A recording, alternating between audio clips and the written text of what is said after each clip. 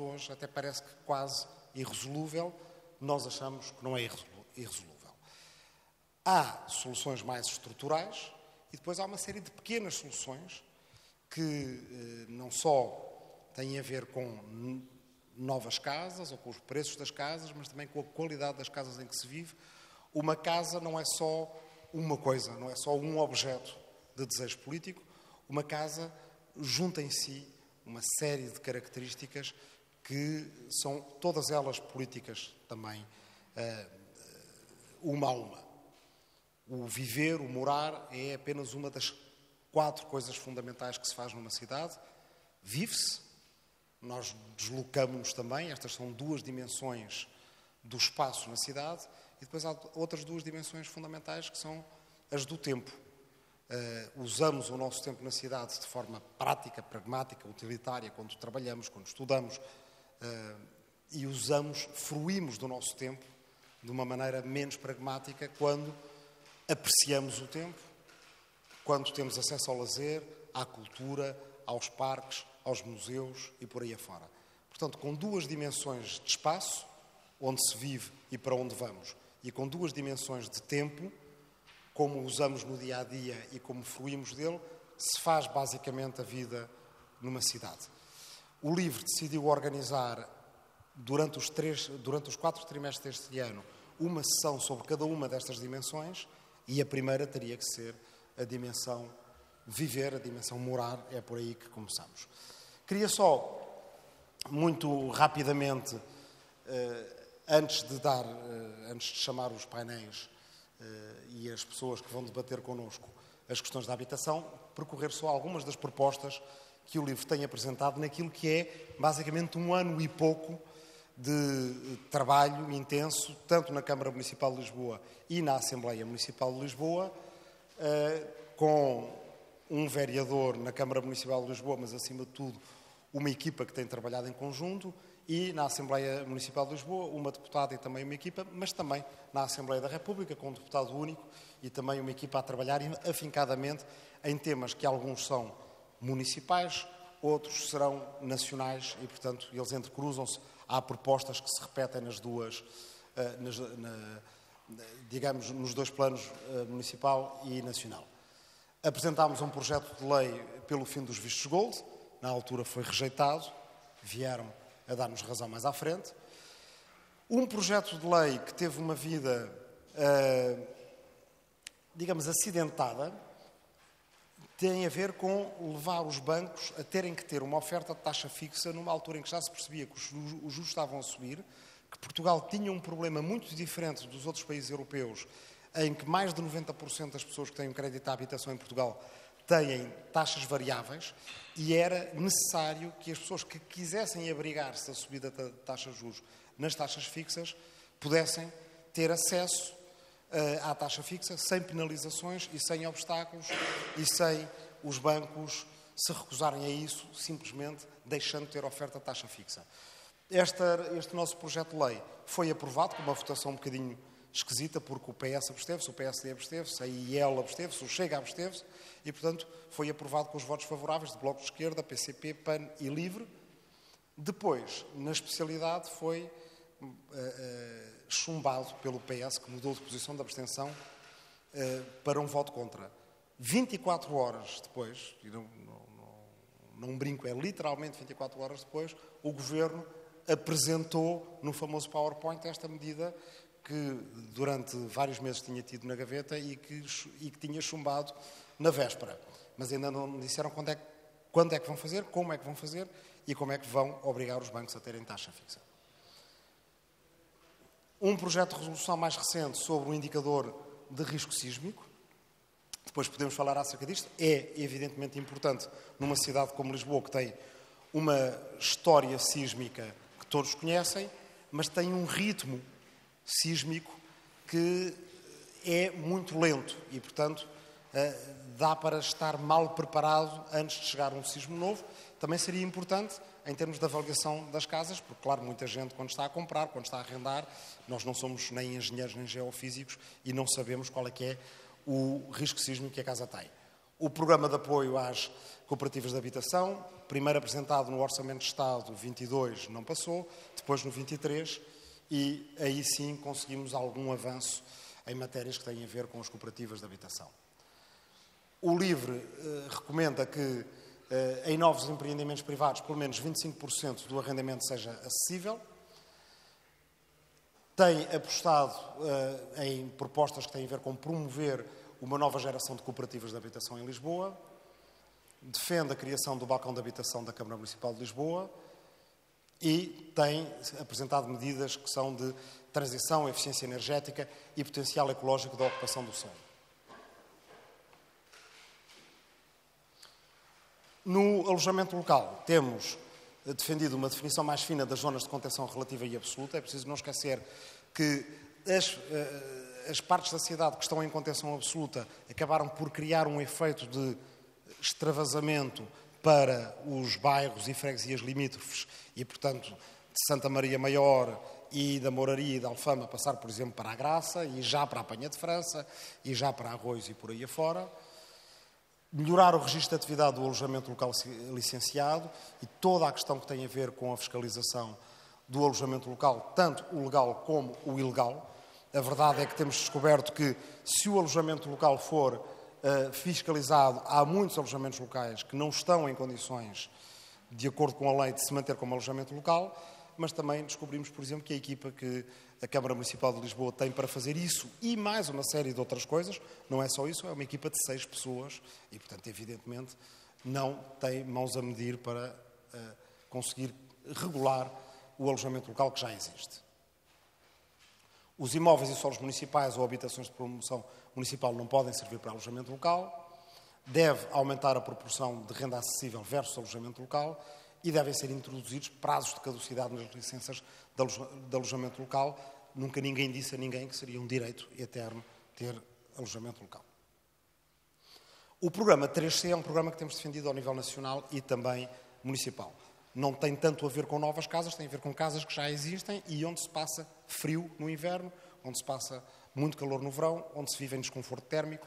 Portugal é o país da Europa Ocidental onde se passa mais frio dentro de casa. Eh, é um problema a vários níveis: saúde pública, produtividade eh, e, acima de tudo, um problema de dignidade.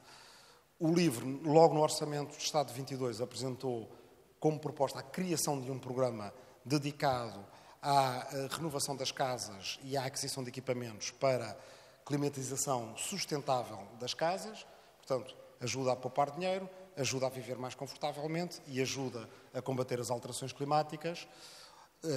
Eh, ganhámos a criação do programa, depois o próximo passo é financiá-lo no orçamento de 2023. Eh, conseguimos que 20% dos fundos europeus Repower EU eh, ou seja, 140 milhões de euros, os fundos são 700 milhões, 140 milhões é a, eh, a, eh, parte desses fundos que adjudicámos às, ou que reservámos ao programa 3C para as categorias de menores rendimentos no país. E, portanto, é, estas batalhas nunca se ganham só de uma vez, vão-se ganhando e é uma coisa que vamos continuar a insistir, porque depois a questão é facilitar, em termos de burocracia, em termos de acesso, para que as pessoas de facto possam saber que existem estes apoios e os possam utilizar e, evidentemente, também andar sempre em cima do Ministério do Ambiente e Ação Climática para que o programa uh, se torne um programa cada vez mais difundido noutros países europeus que já tinham resolvido o, em grande modo o problema do desconforto térmico nas suas casas. A verdade é que programas deste género, o mais conhecido deles é o Superbonus italiano, têm sido enormes sucessos. Uma coisa em que temos estado a trabalhar mais recentemente tem a ver com a necessidade de melhorar o parque já existente. Quer dizer, toda a gente fala da importância que foi o PER e ter-se conseguido acabar com as barracas, lá está, era um problema que a certa altura também era considerado muito complexo, quase irresolúvel e pode resolver-se, mas evidentemente sabemos que a construção não é suficientemente boa de uma série de pontos de vista que não são só construtivos, têm a ver com toda a envolvente social e, portanto, temos que uh, uh, queremos fazer uma espécie de 3C municipal, mas que esse 3C municipal tenha mais valências do que apenas o conforto térmico, seja, tenha a ver com, basicamente, melhorar os bairros municipais que já existem. Aqui uma, eh, uma, uma proposta do livro, que é uma proposta que dentro do livro gerou grande debate e tem a ver com um tema que vou só enunciá-lo, não vou discutir aqui porque podemos provavelmente discutir mais à frente. A verdade é que se tem criado uma grande fratura social e geracional na compra de casa própria. A compra de casa própria, bem, significa evidentemente ter-se casa, mas comprar uma casa própria é também ter uma reserva de valor ao longo da vida, que permite às pessoas, por exemplo, rehipotecarem uma casa para fazerem face a um revés da vida ou para financiarem um seu projeto. Claro que permite deixar a casa aos seus familiares e durante algum tempo foi fomentada a compra de casa própria, isso deixou de ser feito, temos agora principalmente políticas de arrendamento, mas a verdade é que as casas continuam a ser compradas. Os mais ricos compram casas, muitos dos estrangeiros com mais poder de compra compram casas e depois vão alugá-las aos preços que nós conhecemos aos outros. Tem havido uma insistência maior de políticas públicas no apoio ao arrendamento. A verdade é que depois de um debate bastante intenso no livro, acabámos por aprovar a ideia de que também seria preciso criar um fundo para apoiar principalmente jovens e classe média baixa à compra da habitação própria permanente com determinados critérios que permitem ou que pretendem mitigar o efeito especulativo uh, uh, que um programa desses poderia ter. Porque achamos, no fim de contas de um debate longo, que não poderíamos deixar criar esta fratura geracional e social em que, mesmo que as políticas públicas se tenham encaminhado para, para o arrendamento, o que acontece é que aqueles que têm posses continuam a comprar e os outros não têm na classe média baixa e nos jovens acesso à mesma reserva de valor que uma casa pode significar. Portanto, a ideia será o Estado comparticipar a entrada na casa e ficar coproprietário da parte correspondente àquilo com que participou. A casa valoriza e se é vendida, o Estado recupera aquele X% da, da casa e, portanto, este fundo é autossustentável e pode depois ajudar outras pessoas no futuro. E para finalizar, queria eh, falar aqui de um tema que espero que seja uh, cada vez mais relevante no debate público, até porque é um tema e, acima de tudo, uma infraestrutura apetecível.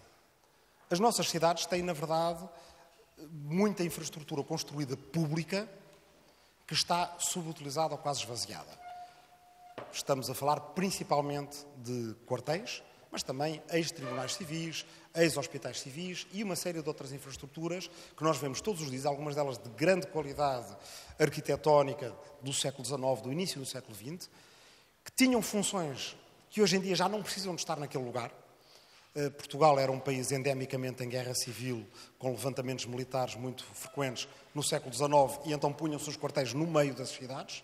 Hoje em dia não é esse o nosso problema, mesmo do ponto de vista da programação militar ou de um conceito de defesa nacional, não é no meio das cidades que precisamos de quartéis. Mas no meio das cidades podemos ter uh, habitação, podemos ter residências estudantis, podemos ter cooperativas de trabalho, podemos ter uh, espaços para associações e ONGs. Aqueles espaços em Sapadores, na Ajuda, em Campo de Ourique e por aí afora, em tantos lugares, estão ali a pedir ideias novas e essa é uma marca de, de, de momentos decisivos de transição como, como é este. Eh, quando apresentámos esta proposta na Assembleia da República, foi na comemoração dos 200 anos da Constituição Liberal e dissemos aquela Revolução Liberal em 1820 fez isso. A própria Assembleia da República era um convento que se tornou num parlamento, ou seja, ideias novas para casas velhas. Eh, da mesma forma, nós hoje temos muitas casas velhas a precisarem das tais ideias novas, das universidades, das residências estudantes, das cooperativas e por aí afora. Eh, chamámos a atenção para esta questão. E a verdade é que, embora o Governo não tenha querido dar nenhum espaço nesse sentido, não tenha querido fazer uma coisa simples, que é pôr a Ministra da Ciência, Tecnologia e Ensino Superior a falar com a Ministra da Defesa e a perceber o que é que se pode usar daqueles quartéis, isto chamou a atenção também de outros partidos. E agora houve uma proposta mais recente, da Iniciativa Liberal, que é uma proposta bastante perigosa, que é uma proposta na qual, em vez, como não querem, como tínhamos posto na nossa proposta, a criação de um grupo de trabalho para inventariar este património, que aliás o próprio Tribunal de Contas tem pedido o tempo todo, o que a Iniciativa Liberal diz é, então, a sociedade civil, mas acho que será mais as sociedades anónimas, e as sociedades por cotas, identificam este património do Estado, fazem ofertas e se o Estado não tiver outra utilização, é obrigado a vender. E o que é extraordinário é que isto passou. O PS viabilizou esta proposta. Portanto, queria só chamar a atenção para isto. No centro das nossas cidades há património construído que pode ser parte de uma solução, pode ser chave para uma solução como aqui chamamos, e vai haver uma luta muito grande entre dar função social e pública a estes espaços ou fazer o que, se calhar, de certa forma, para um governo e para certos partidos, é mais fácil, que é privatizar. E, portanto, uh, queria uh, levantar aqui um bocadinho esse problema. Fizemos um vídeo para, uh, para divulgar essa medida e, com isso, agora me calo e depois vou chamar o primeiro painel a vir aqui à mesa.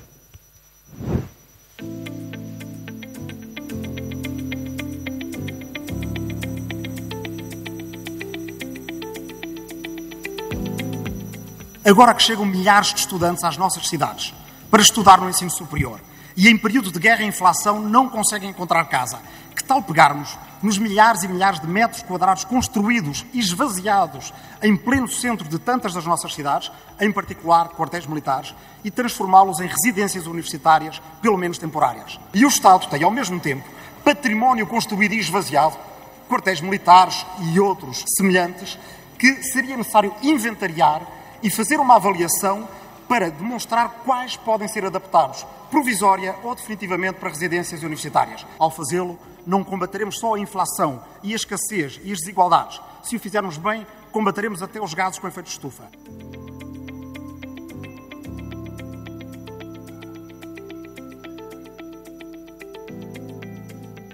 Mas estaremos, sobretudo, a preparar as velhas casas para que elas possam albergar as ideias novas.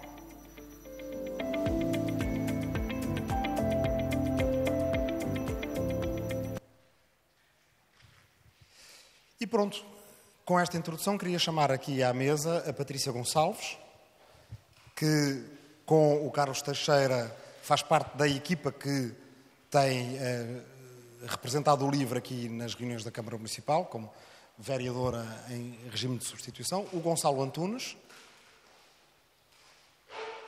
que está aqui, e o Bernardo Fernandes da Rizoma, que não sei onde é que está, que está ali, e a Patrícia fará as apresentações mais detalhadas. Obrigado e então que comece o debate.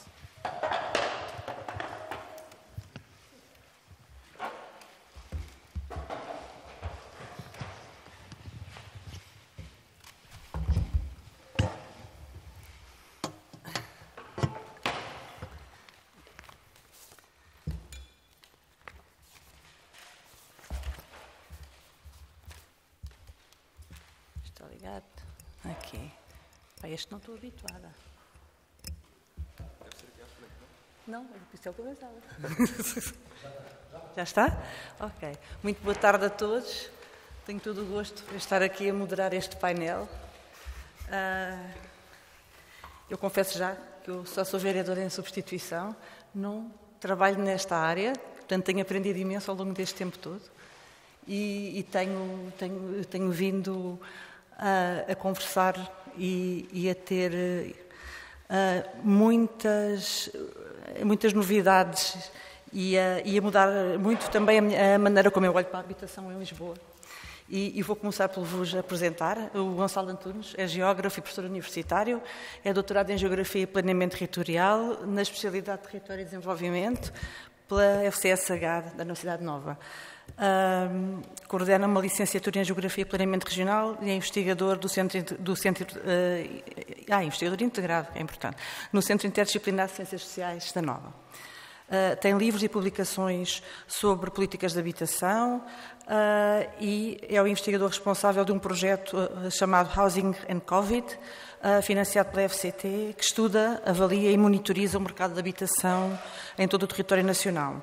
Também é o curador da exposição Políticas de Habitação em Lisboa, da Monarquia à Democracia, o que é muito interessante, que foi organizada pelo Arquivo Municipal de Lisboa, da Câmara Municipal. Os os interesses científicos do Gonçalo incluem de forma lata os estudos urbanos, com ênfase nas políticas de habitação, dinâmicas de mercado imobiliário, políticas urbanas, geografia urbana e o planeamento e ordenamento do território. E recebeu em 2018 duas menções honrosas na área da história contemporânea, nomeadamente do Prémio Fundação Mário Soares e do Prémio Vitor de Sá. O Bernardo Fernandes uh, vai representar a Rizoma, a cooperativa Rizoma, não é? É um doutorando é? Uh, em Sociologia do ISCTE e, e, faz investigação sobre uma área que eu acho imensamente interessante, que são os jovens NEET, que eu não vou traduzir, vou esperar que... NIT, pois eu estou a falar português, que eu estou aqui com cuidado, uh, em territórios rurais em Portugal. E, e, o, e, o, e, o, Bernardo vai explicar o que são, melhor que eu. Uh, estas siglas. Um, ah, e, e, colabora também num projeto de investigação do, do SIX Nova uh, sobre práticas, significados e contextos de vizinhança em Lisboa. Pronto, eu vou começar uh, por ordem cronológica uh, dos assuntos e, portanto, por isso vou começar pelo Gonçalo, e a pedir-lhe que nos fale um bocadinho sobre o enquadramento histórico, aquilo que ele sabe tanto, não é? Que tem trabalhado, da, da problemática da habitação uh, ao longo dos tempos. Não vamos começar. Okay. Uh, bem, há 200 anos já foi há muito tempo, mas se calhar, resumindo, não é? Tentando Sim. dar uma visão para as pessoas compreenderem okay. um bocadinho a evolução destes, destes problemas e destas questões. Bem, antes de mais, muito boa tarde e obrigado pelo convite para estar aqui presente. Eu posso efetivamente tentar fazer assim um, um, resumo do que é que foram as políticas de habitação, sobretudo aqui na, na cidade de Lisboa, em particular ao longo do, do século XX, porque na verdade no século XIX não há assim nada de extraordinário para dizer. No século XIX estudaram-se sete projetos de lei, na verdade, foram propostos sete projetos de lei, projetos de lei muito interessantes, em particular naquilo que referiam nos seus preâmbulos, porque os preâmbulos eram muito descritivos e bastante impressionistas sobre as condições de vida, sobretudo na cidade de Lisboa e no centro, em particular, no bairro de Alfama e Moraria, e, e de facto as descrições eram bastante impressionistas.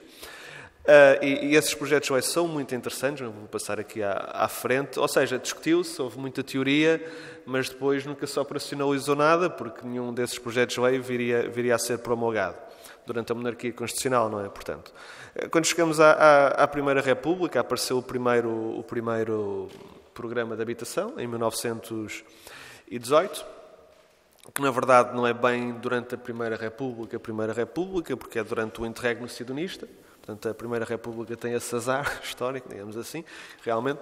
Eh, mas aparece aí a, a primeira política de habitação, que era muito influenciada uh, muito no espírito dos projetos de lei que tinham aparecido anteriormente, até porque durante a Primeira República já se tinham discutido mais dois projetos de lei sobre o assunto, e aparece uh, essa primeira política de habitação.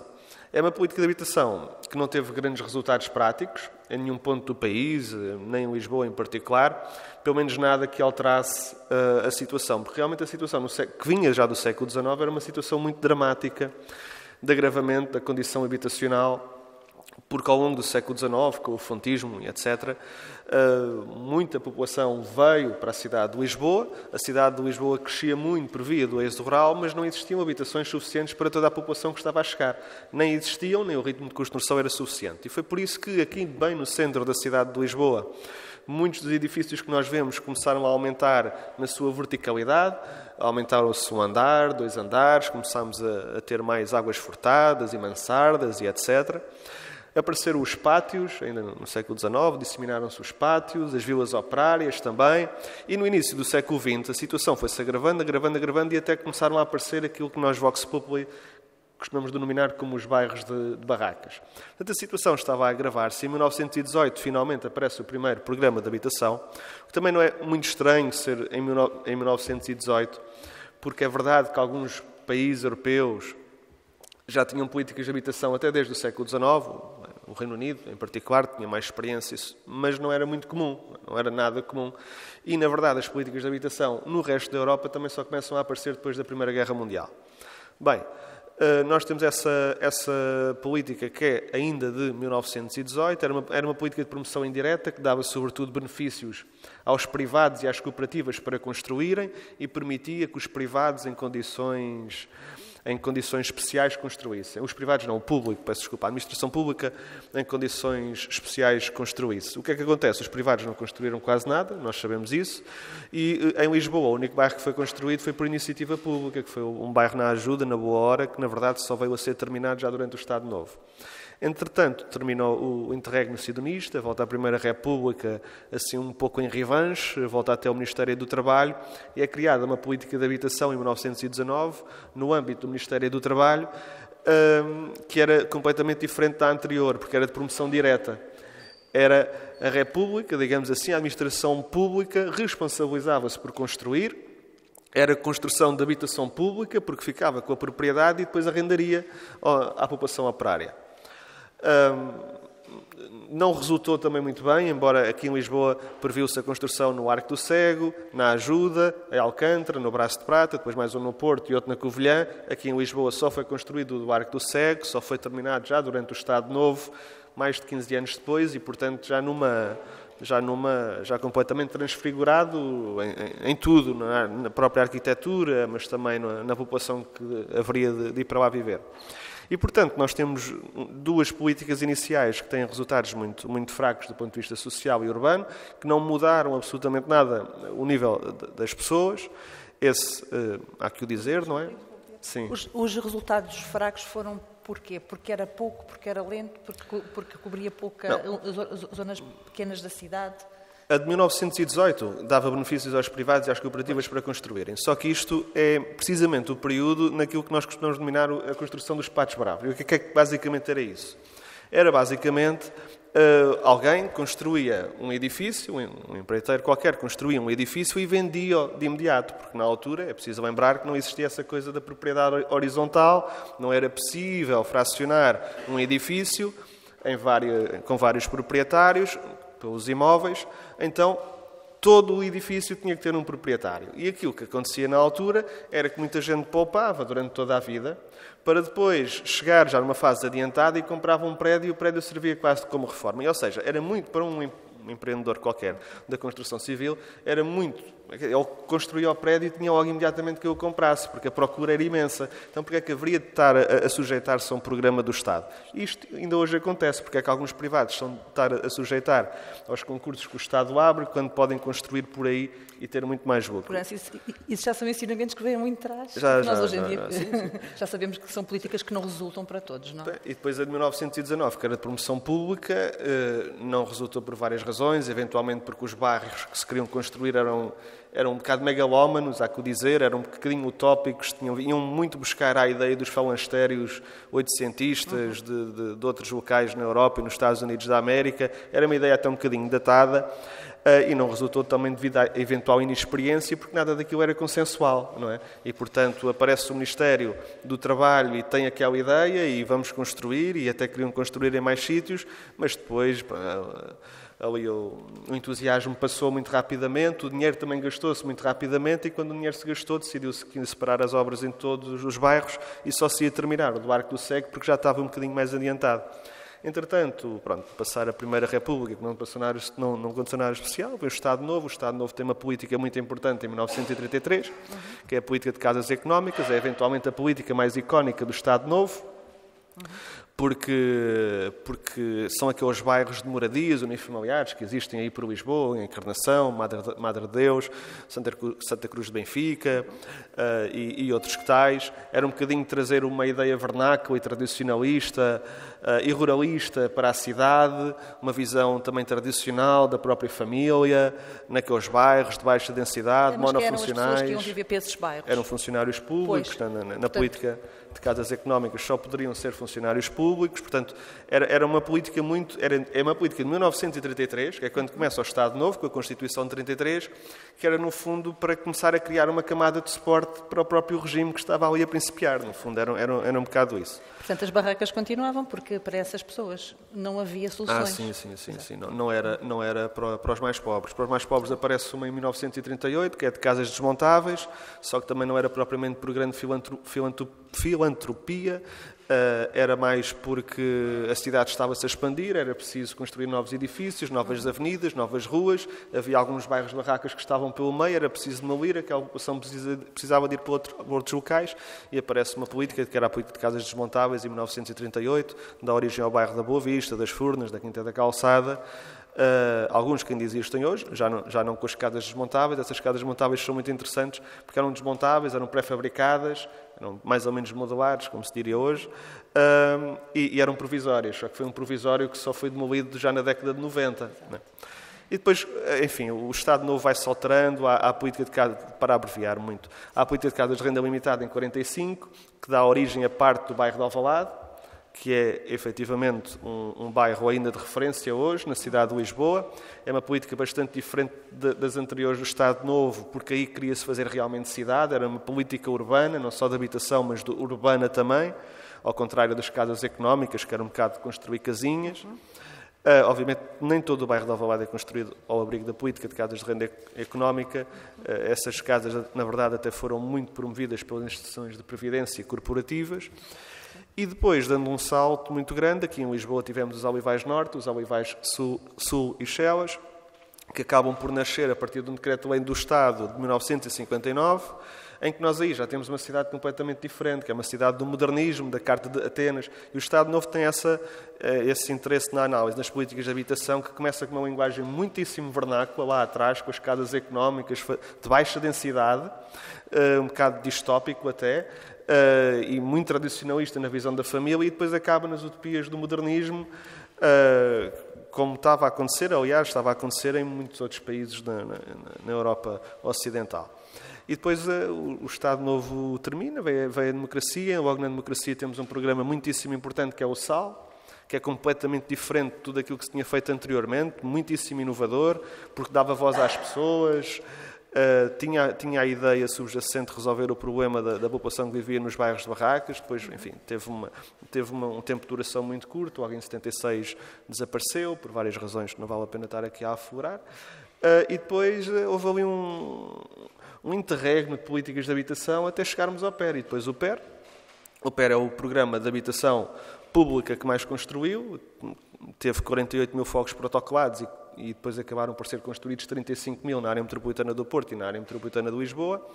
Eh, portanto, tem esse mérito, mas depois a, a Jusante, digamos assim, criou diversos problemas no, na, na, sua operacionalização, na sua execução de bairros, porque, quer dizer, o, o PER resolveu a questão da habitação, eventualmente, mas não resolveu a questão do habitat, não, não resolveu a questão do acesso aos equipamentos coletivos, de, de espaço público adequado, da rede de transportes. São problemas que ainda estão para resolver em e, muitos portanto, sítios da cidade, não é? é tudo... São questões que ainda estão sim, para resolver. Sim. Ah, sim, são, são questões que estão completamente por resolver, embora ao longo dos anos parece-me que vão, vai, vão aparecendo equipamentos públicos, vão aparecendo transportes, vai existindo um maior cuidado com, com o espaço público, mas depois também há outras questões, que é a própria conservação, não é? Porque não basta construir, não basta fazer um, um decreto para construir, depois é preciso conservar, é preciso manter, e aí também há que o dizer, a administração pública, que é proprietária, os municípios e o IRU, eh, são, eh, não são bons senhorios desse ponto de vista, e basta dar aí uma volta pelos bairros de habitação pública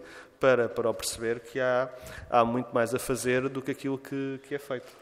Eu tinha aqui, queria lançar também aqui um bocadinho a conversa entre vocês, só que okay. achei importante fazer, aprender aqui um bocadinho com o Gonçalo e aprendermos todos e fazermos esta este caminho histórico e se calhar voltávamos mais depois do 25 de Abril o papel das cooperativas okay. E, e, tentar lançar aqui, vou chegar até um bocadinho para trás a conversa. Uh, não sei quem é que quer pegar, uh, Gonçalo. Rizoma, depois do 25 de Abril, não sei se é, tu estás hoje em dia numa. A Rizoma é uma cooperativa mais vasta do que a habitação, uma cooperativa. Se calhar podes um bocadinho falar sobre isso e depois voltamos aqui à interação. Ok. Olá uh, a todas as pessoas, obrigado pelo convite. Uh, lamento não ter dado logo o nome, aparece só uh, Cooperativa Rizoma. Tivemos até a última hora a decidir quem é que vinha representar. E, um, e também queria só pedir desculpa, estamos numa situação um bocadinho desigual, acho que vê-se nos nossos currículos. Espero compensar com, com interesse na temática das, das cooperativas. E também queria dizer, por causa da pergunta que que, que, lançou ou que ia lançar é que a Rizoma também não tem aqui nenhuma pretensão de ser uh, especialista, uh, nem eu próprio. Aliás, a Rizoma uh, nasceu há pouco mais de dois anos, portanto, estamos há pouco mais de dois anos a dedicar-nos e a perceber o que é que é a cooperativa, ou o que é que são as cooperativas, o que é que significa cooperar, o que é que significa democracia. Um, e, portanto, há aqui muitos assuntos que que, eh, que ainda, simplesmente ainda não temos conhecimento para falar sobre eles, mas temos já alguma experiência, temos os nossos valores, temos os nossos uh, objetivos e também temos encontrado algumas dificuldades já neste caminho. também a ver com, se calhar vamos falar a seguir sobre algumas das intenções aqui da Câmara Municipal e também do Estado sobre as próprias cooperativas de, de habitação. Podemos falar a seguir, mas se calhar faço uma pequena Uh, introdução ao que é que são as cooperativas, ou pelo menos o que é que a, International Cooperative Association define como cooperativas. Então, as cooperativas são uma associação autónoma de pessoas que se unem voluntariamente para responder às necessidades e às aspirações económicas, sociais uh, e culturais através de uma empresa de propriedade partilhada, controlada democraticamente. Portanto, isto é um, uma definição bastante abrangente, uh, diria que até relativamente consensual daquilo que é uma estrutura uh, de, uma, de uma cooperativa. E as cooperativas baseiam-se todas ou pelo menos eh, parte-se do princípio, que se, que se baseiam eh, em sete princípios, que é a adesão livre e voluntária. Ehm, e logo este, o primeiro, pode, podemos ver, pode entrar em contradição com algumas das ideias que, neste caso, a Câmara Municipal de Lisboa tem para, para as cooperativas. o controle democrático pelos membros, a participação económica dos membros, a autonomia e independência, a educação, a formação e a informação, a cooperação entre cooperativas, isto é um aspecto uh, muito importante e nós temos trabalhado bastante isto uh, na Rizoma, quer enquanto estrutura integral, quer depois especificamente na, na secção de habitação, e uh, o compromisso com, com, com, a comunidade, portanto, com o espaço ou com o território em que está inserido. E um, um bocadinho mais de história, então a primeira cooperativa foi fundada em 1844 eh, era a cooperativa, eh, só vou fazer esta referência não vou, não vou fazer todo o caminho, ehm, mas era uma cooperativa britânica, eh, a Rochdale, e que começou por ser um grupo de tecelões e eles desde o princípio perceberam a importância de ter uma cooperativa que fosse, eles não, não utilizavam este termo, não é? mas que reunisse produtores e consumidores, de forma que se permitisse também que que o interesse de ambos fosse assegurado, não é? Porque se, se temos uma, uma, uma, cooperativa que seja só de produtores, eh, em princípio vão, os produtores vão tentar, eh, de alguma forma, maximizar o seu lucro eh, e aumentar o máximo o preço para o consumidor. Se formos só de consumidores, eles vão tentar baixar ao máximo o preço e, portanto, daí também afetar o, o, produtor.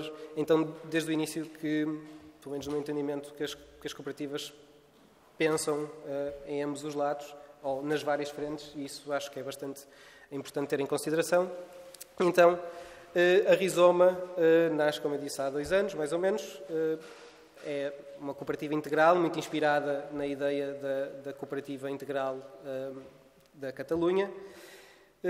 No código português chama-se cooperativa multissetorial, não existe este termo integral, e isto significa que as cooperativas, ou que este tipo de cooperativas, podem atuar em vários ramos de atividade. Na habitação como na habitação, por exemplo. Então, podemos integrar todo tipo de projetos, eh, desde os serviços, à agricultura, à comercialização. Eh, e a ideia principal, isto depois também se traduz naquilo que nós revemos como um projeto eh, habitacional, é que seja uma organização de ação comunitária local e que tenha também, de forma declarada, esta ideia de democratizar não só a atividade económica, mas também todo tipo de relações que se estabeleçam eh, dentro da, da, da, cooperativa. E, portanto, é uma ferramenta eh, democrática, uma ferramenta económica que a comunidade de membros pode utilizar para desenvolver os seus projetos, seja na área de habitação, seja nos seus projetos pessoais, seja num projeto um, em colaboração com outras pessoas.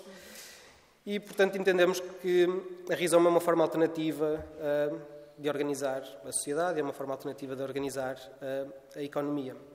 Essencialmente, definimos como, como valores, os valores uh, democráticos, obviamente, da, da copropriedade, do compromisso, da agroecologia, da transparência, uh, da gestão dos recursos e, uh, neste caso, da, da, da, gestão de recursos eficiente e, e essencialmente, a não discriminação de pessoas. Muito perfeitamente. Na área da habitação, vocês têm trabalho, eu estou aqui assim. Sim, sim, sim.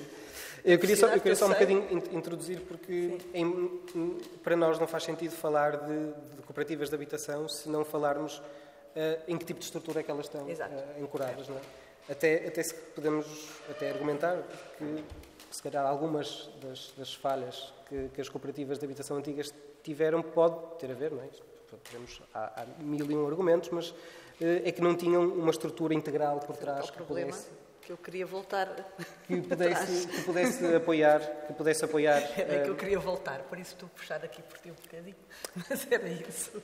Queria tentar perceber eh, os contextos em que as, as cooperativas funcionam, quais são os problemas que também podem ter, quais são as vantagens. E, não, mas a sério, porque é o que nós queremos saber muito concretamente. Claro, claro, é uma pergunta E- legítima. E, e, e por isso é que eu no início, no início disse que a, a Rizoma não tem, não tem ainda pretensões de, de, de falar ou de explicar o que é que entende como modelo habitacional ou como cooperativas de habitação, porque É infelizmente ainda não temos Não tem. uma, uma, uma, uma cooperativa de habitação estabelecida, mas temos esse objetivo e estamos, e estamos ah, a construir. Posso falar, se quiser agora, sobre um bocadinho o que é que a secção de habitação tem estado a trabalhar na, na Rizoma. Acho que depois daí podemos eh, passar. Então, hum, a Rizoma tem dois anos e meio, a, a- a secção de habitação deve ter talvez um ano, pouco mais do que isso, hum, e temos estado a trabalhar essencialmente em três ah, planos. Então, em, em primeiro, eh, e porque eu estava a falar um bocadinho de um dos princípios da cooperação entre cooperativas, eh, a primeira coisa que nós achámos que fazia sentido fazer era começar a, criar uma rede eh, de, eh, de cooperativas ou de coletivos que têm interesse em, em estabelecer-se enquanto cooperativas. E temos o- uma rede, que é a Rede Coabitar, que tem seis ou sete eh, cooperativas e coletivos. E a partir daí começar a também a partilhar. Uns já têm terrenos e já estão a começar a construir, outros ainda estão na fase totalmente embrionária.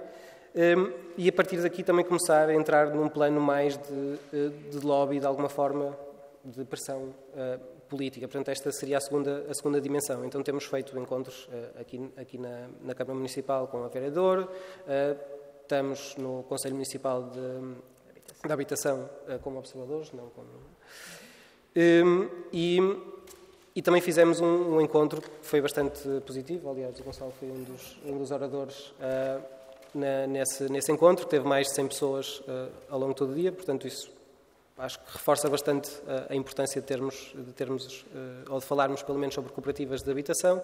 E depois temos outro grupo que está mais dedicado, que envolve membros, alguns arquitetos etc., que está mais dedicado a perceber como é que seria este modelo de habitar em conjunto. Há muitas eh, ideias que são bastante transversais, é? todas aquelas ideias eh, eh, de, de jardim, de comunidade, de materiais partilhados, que fazem que são a ideia central, mas depois há muitas outras eh, formas de organizar, como é que se lidam com os conflitos, como é que se lidam com, eh, com diferentes eh, formas de financiar a própria cooperativa e etc. E, portanto, depois podemos falar um bocadinho mais sobre isso. Mas estes são os desafios da, da Rizoma neste momento, que não são poucos, e até porque, até porque a secção de habitação, só mesmo para terminar, é a secção mais ambiciosa de toda a cooperativa. Não só porque é que requer mais comprometimento entre os membros a mais longo prazo, e é porque, sem dúvida, é que requer mais investimento eh, de todos os membros, e por isso eh, é o projeto mais ambicioso para mim e o mais bonito, talvez. Obrigada. Cooperativas. Questões, problemáticas. Sim. Uh, só indo aqui um bocadinho atrás sobre cooperativa, eu não sou especialista em cooperativas, embora estude as questões da- das políticas de habitação e por isso também uh, já tenho lido sobre, sobre as cooperativas. Eu estava-me aqui a lembrar que já li um, determinado autor português, mas que não é académico, eu nunca consegui cruzar aquela informação com outra, portanto não sei exatamente de que ponto é que é rigorosa, mas que a segunda lei cooperativa no mundo teria sido eh, promulgada aqui em Portugal na década de 60 do, do, do século XIX. Depois foi revogada e foi substituída por um código cooperativista diferente, também não- um pouco depois, mas que a segunda lei seria, seria aqui em Portugal. A verdade é que as cooperativas de habitação, em concreto, até 1974, tiveram uma ação absolutamente residual. Até porque, durante o Estado Novo, existia um bocado a ideia que o movimento cooperativista estava um bocado infiltrado não é, pela oposição e, portanto, no caso da... e não havia políticas de habitação, na verdade, que fomentassem a participação das cooperativas, ao contrário do que acontecia em outros países da, da Europa Central, talvez na década de 20 ainda do, do, do século XX. A primeira grande política que aparece relacionada com as cooperativas de habitação aqui em Portugal é o SAL. É? Exato. Em 1900, eu queria voltar. É, em 1974. Porque o SAL foi uma medida ali do período revolucionário, dos governos provisórios, é, que aparece no verão de 74, que tinha como ideia encontrar soluções para a população que vive no, vivia nos chamados bairros de barracas. E depois acabou por se definir que aquela população, para uh, estar ao abrigo do sal, digamos assim, teria que se constituir como cooperativa. Obrigatoriamente eles tinham que se constituir como cooperativa ou como associação, mas depois até era apenas e só como cooperativa de habitação. E, portanto, tinham que se organizar em comunidade, o que fazia sentido na questão do sal, não sei se fazia sentido na questão constitucional, que também foi um bocadinho levantada, porque as pessoas eram obrigadas a fazer parte de uma cooperativa para encontrar a sua solução, mas, mas a Constituição também não existia ainda, não é? de 76, mas, efetivamente, Uh, o sal, todo o sal, uh, todas as políticas de habitação até 74 eram aquilo que nós costumamos denominar, eram top-down, não é? Ou seja, o Estado decidia, a administração pública decidia e as pessoas eram distribuídas pelas habitações de acordo com, com os pressupostos da, da, própria administração pública. O SAL não. O SAL existia na, dentro do FFH, que era o Fundo de Fomento da Habitação. Era, o SAL constitu, era constituído por brigadas de apoio local e essas brigadas de apoio local eram equipas multidisciplinares que iam falar com a população destes bairros, que iam discutir, faziam plenários muito acesos e com arquitetos hoje em dia muito conhecidos, o Souto Moura, o Cisa Vieira, que falavam com as pessoas, que discutiam as pessoas e ouviam o que é que elas tinham para dizer, nomeadamente onde é que, onde é que achavam que o bairro se devia localizar, o HI, é? porque existia muita filosofia do direito ao lugar, o bairro era ali, o novo bairro deveria ser também ali, e depois também uma outra questão importante que era que casas é que se iriam construir e que, que casas é que eram, como é que deveriam ser as, as suas tipologias. A população tinha uma grande participação uh, na, na, na, discussão da, da solução do seu próprio problema, digamos assim. E as cooperativas apareceram aí como uma solução para as ajudar a organizarem-se. E, e, efetivamente houve aí um, um período muito, muito forte de cooperativismo, porque para se aderir ao SAL era efetivamente preciso organizar-se como cooperativa.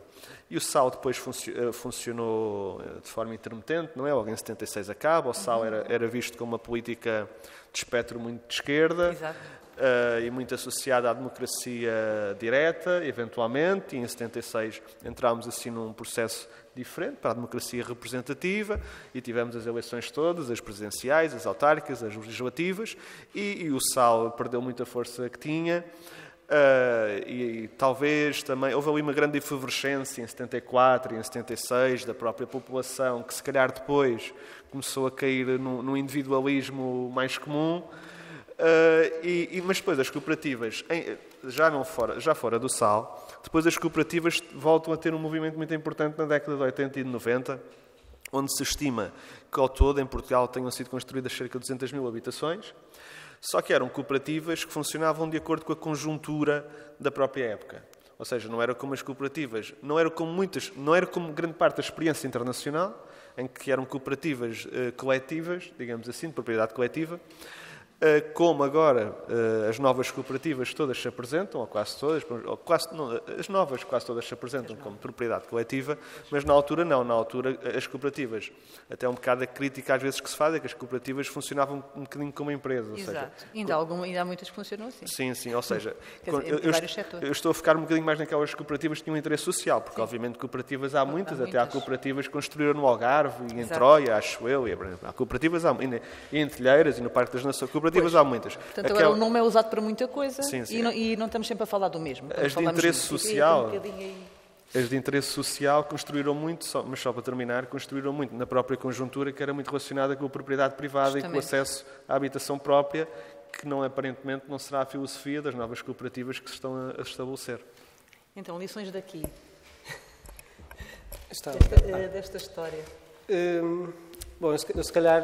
Uh, não, há um exemplo quase paradigmático do que o Gonçalo estava agora a falar mais no final, que hum, ficou resolvido recentemente, quer dizer, não tão recentemente, mas a de Brejos, um, Brejos de Azeitão, eh, que passa exatamente, bom, não quero uh, uh, parecer que sei mais do que, do que, sei na verdade, mas, mas essencialmente eles passam por um processo em que, em que a propriedade começa por ser uma propriedade coletiva, Um, e, e, depois uh, há uma fase em que, pronto, alguma, uh, chamemos-lhe talvez, uh, má gestão uh, dos órgãos sociais da própria cooperativa.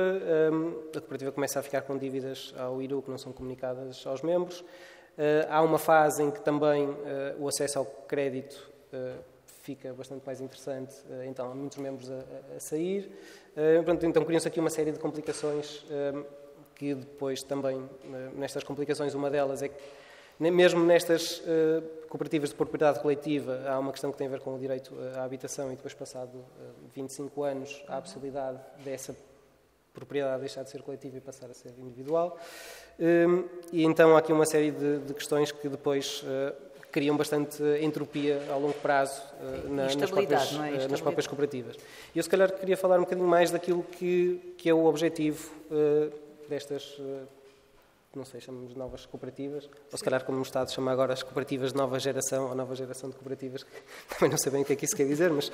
E depois também uh, como é que elas vêm uh, obviar os problemas das outras, uh, das anteriores, não é? Como é que se, como é que se já sabendo o que nós sabemos, isso, isso... como é que se consegue que essas instabilidades... Sim, nós temos, nós temos alguns exemplos, alguns exemplos estrangeiros, já aqui ao lado em Espanha, mas também não queria dizer que são exemplos ganhadores ainda, porque também são exemplos muito recentes. Porque, só um comentário, é porque o problema da habitação é uma coisa que eu penso que, que o Gonçalo já referiu, é que, ou que tu referiste, penso eu, que é de longo prazo, não é? é não, é, não são cooperativas como as outras, são casas, são... E, e, é uma questão. De... Então, eh, sim, eu, não, eu, há bocadinho quando disse que ainda não tenho a certeza se são propostas ganhadoras, eu acho que já estão bastante mais à frente do que, ou pelo menos estão naquilo que nós, no caminho que nós gostávamos de fazer, mas. Uh, então, uh, acho que aqui uma, das ideias principais, uh, e isto acho que entra na própria ideia da Rizoma e neste caso também da, da rede Coabitar, é que nós queremos construir projetos cooperativos em propriedade coletiva eh, com direito de superfície, eh, se for possível, eh, e, e que essa superfície seja de propriedade pública. Neste, neste momento, o Estado diz que são 90 anos, se usarmos esse, esse, esse direito, chamamos assim. Então, eh, uma das coisas principais é que nós não queremos que as habitações sejam tratadas como eh, a mercadoria. Portanto, logo nesse sentido, eh, essa previsão de, passados 25 anos, poder haver uma alteração de propriedade não nos parece viável nem, nem sensata. Isso é já uma lição, não é? Uh, isso, é, sim, Pronto, isso, é, isso é muito concreta. Isso é uma lição, sim. Um, e porque isto é a única forma de, de garantirmos que, que, este tipo de propriedade ou este estoque ou este parque habitacional não entre na, na, especulação imobiliária e essa é um talvez a premissa principal, além do preço uh, de acesso, uh, é que não entre uh, na, na especulação. E a outra é que o parque habitacional se mantenha na esfera cooperativa. Portanto, a ideia é que ninguém pode vender a sua casa, porque também ninguém a detém sozinha, e há o direito de viver nesta casa por um preço que é previamente acordado, eh, que garante depois que se pagam rendas justas, que, que haja a cooperação, que haja a autogestão dos cooperantes. Eh, e esta questão da autogestão também foi muito problemática nas eh, cooperativas. Isso era outra questão que mais, eu tinha, mas já não temos muito mais tempo. antigas. Sim, porque pronto, os membros ao longo do tempo vão deixando de ter interesse. Exato. Em, e manter esse interesse, não é? Por, por definição e por desenho da própria estrutura e do próprio regulamento interno da cooperativa, hum, é que se estabelecem uma série de mecanismos e de, e de formas de se relacionar e de mesmo questões mais operacionais que podem evitar que isso. Sim, e que não podem ser muito difíceis de cumprir, porque senão o que acontece. É, as pessoas desencorajam-se. Eu não sei se cumprir é a palavra certa, mas pelo menos de, de, de querer participar querer de querer participar. estar envolvido. Sim. Ou seja, não pode ser entendido como cumprir. Basicamente, é o que estou a dizer. Pode ser, sim. Certo, não sei. Sim, sim. Nós não temos já muito tempo, já me fizeram um sinal dali. Ok. Uh, Ui. Eu, eu gostava, pois, isto é, isto é uma discussão que dava para muito mais tempo e eu estou a aprender okay. imenso, mas o que eu gostava de saber é que vocês, dos dois, se acham que uh, o modelo cooperativo é uma, pode ser uma chave para resolver uma parte do problema da habitação em Lisboa? Uh, pronto. Eu, eu deixo o Gonçalo responder porque eu gostava de falar, se calhar, das, da recomendação do PS. Se calhar ah. do pacote mais Queres... habitação. Mas, uh, então, mas, não sei, ou do projeto da, da, da, Câmara Municipal. Mas fala. De, de, dois minutos. Dois minutos. dois minutos. Como é que eu vou falar disto em dois minutos? Então, hum, acho que uma das razões por estarmos aqui hoje também, hum, não só pela iniciativa de livros, hum, mas também porque hum, a Câmara Municipal de Lisboa lançou há algum tempo esta ideia de que vai apoiar o setor cooperativo. E, na verdade, houve reuniões com a Câmara Municipal, ouviram-nos, não sei bem até que ponto é que escutaram o que é que nós estávamos a dizer, mas pronto, aqui houve uma ideia sempre intensa da Rizoma e da rede cooperar, de certa forma, uh, nesta, neste processo, mas sentiu-se muita falta de discussão política, de, de, perder tempo, ou investir, neste caso, investir tempo em discutir coisas de pormenor e coisas de detalhe tão importantes como o estacionamento obrigatório nos, nos prédios. Isto foi coisas que, por exemplo, em Espanha, é uma lição que nós podemos eh, retirar, eh, em Barcelona eles demoraram 3, 4 meses até conseguirem decidir, não, não é obrigatório que os prédios tenham lugares de, de garagem. E, por exemplo, no, neste, último, neste último, que é também o primeiro, uh, projeto, a obra está orçada em quase 3 milhões e 800 e 700 mil euros são exclusivamente para fazer um parque uh, subterrâneo. E isso, uh, pegar em 20% quase do orçamento para fazer uma coisa que é potencialmente inútil para as pessoas que lá vão morar, eh, para não falar do tipo de cidade, é? do projeto de cidade que queremos, não é? que tipo de cidade é que nós queremos eh, habitar, que cidade é que queremos fazer, eh, tem, tem muita influência. E, portanto, acho que isto é um ponto importante. Não houve discussão política suficiente, houve alguma pressa. Tenho mais meio minuto? Tens, tens. Então, há outra, outra questão que também é muito importante, é que a Câmara Municipal de Lisboa abre uh, um concurso público para a concessão dos projetos de arquitetura sem que antes tenha uh, promovido sessões de trabalho uh, com as pessoas interessadas e sem se definir em conjunto entre as cooperativas e as instituições públicas que tipo de cooperativas é que estamos a falar, o que é que, se, o que, é, que é, isto, Exatamente. o que é que são estas nova geração de, de cooperativas. E, e portanto, há aqui uma ideia de que eu não sei bem qual é, eh, e acho que também ninguém percebeu muito, muito bem qual, é a ideia de, de, cooperativa. Não é que as cooperativas tenham todas que ter uma ideia fixa, eh, mas, por exemplo, não temos acesso ainda ao regulamento ehm, que eh, vai definir a entrada das cooperativas ou o acesso das cooperativas a, este, a estes, estes terrenos. Ehm, e isto é a minha visão pessoal.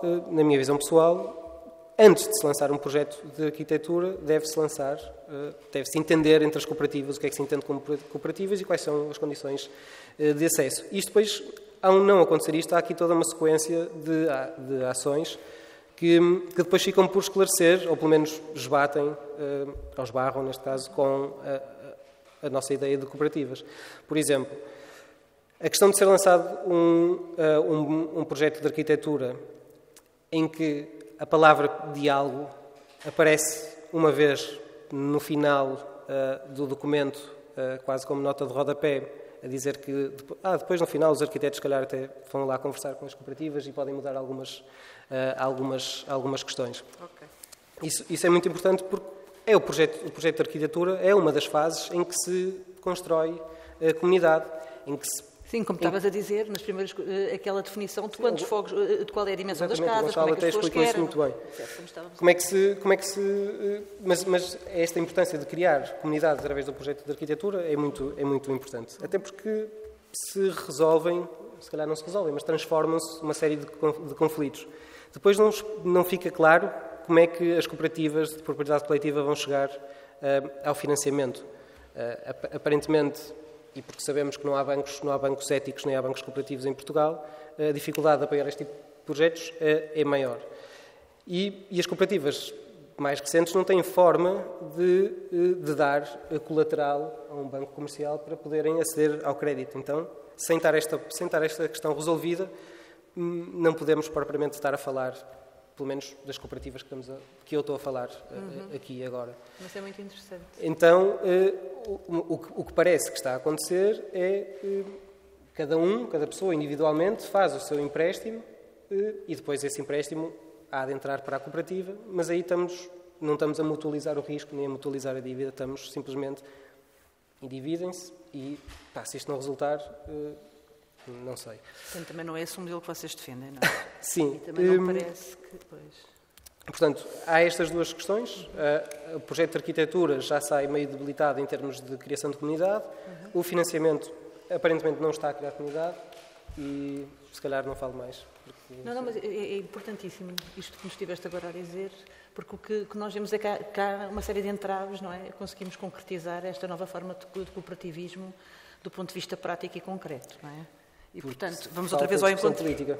Exatamente, e é preciso que haja. É uhum. É preciso que haja. Estamos aqui a tentar fazer isto hoje mesmo com este tempo reduzido. E por isso a questão há bocado era, eh, podem ser uma chave estas novas cooperativas para resolver o problema da habitação, mas o terceiro setor é uma chave para resolver, eh, para ajudar a resolver ou a amenizar o problema da habitação em muitos outros países. Então, porquê é que não há de ser também em Portugal? Não, nós não falámos aqui, mas muito sumariamente, como toda a gente sabe, nós temos 2% de habitação pública e temos, grosso modo, 98% de privada. É óbvio que esse valor aqui em Lisboa não é bem assim, porque a habitação pública no município de Lisboa em concreto há de ser 12% ou 13% Exato. no total, portanto não, não é bem o valor do, do, do, país, mas mesmo assim, grande parte, quase todas, se não todas, as políticas de habitação, de construção de habitação pública que nós tivemos em Portugal foram sempre a situações de urgência. Ou seja, sobretudo para tirar as pessoas de habitações muitíssimo precárias, né, os chamados bairros barracas, para as colocar em bairros de habitação pública construídos em processos de realojamento. Uhum. Nós não temos um parque de habitação pública intermédio. Não temos. Não, não temos um parque de habitação pública intermédio, nem público, nem privado, nem do terceiro setor. Portanto, grande parte das famílias precisam de uma renda acessível em outros países, países que têm esse parque de habitação, eh, de habitação intermédia, seja público, privado ou do terceiro setor, acabam por ter um património habitacional muito grande de escolha que aqui em Portugal não existe. Existe aquilo que é público, mas que estão fora porque foi construído em situações de urgência.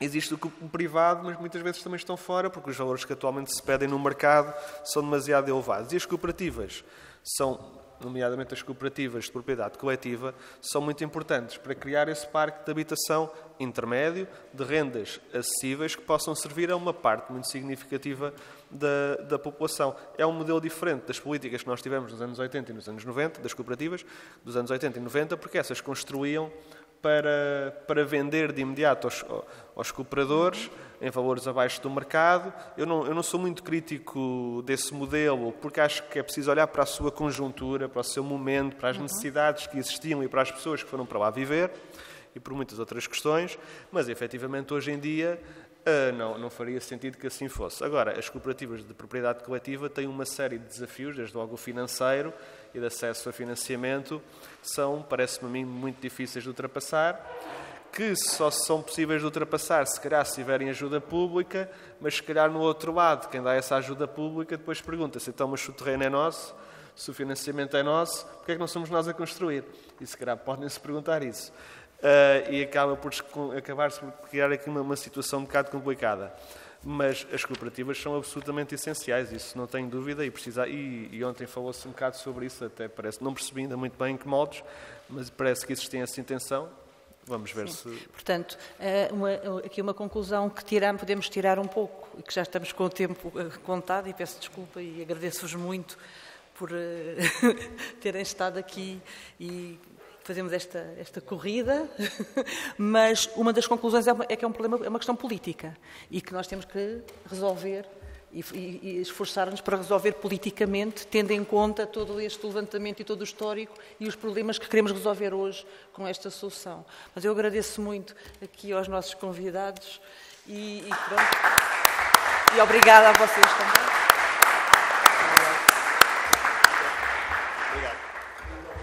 Muito obrigado então ao, ao Gonçalo e ao Bernardo pela, pelo curso acelerado de História de Políticas da Habitação em Portugal e de Cooperativismo.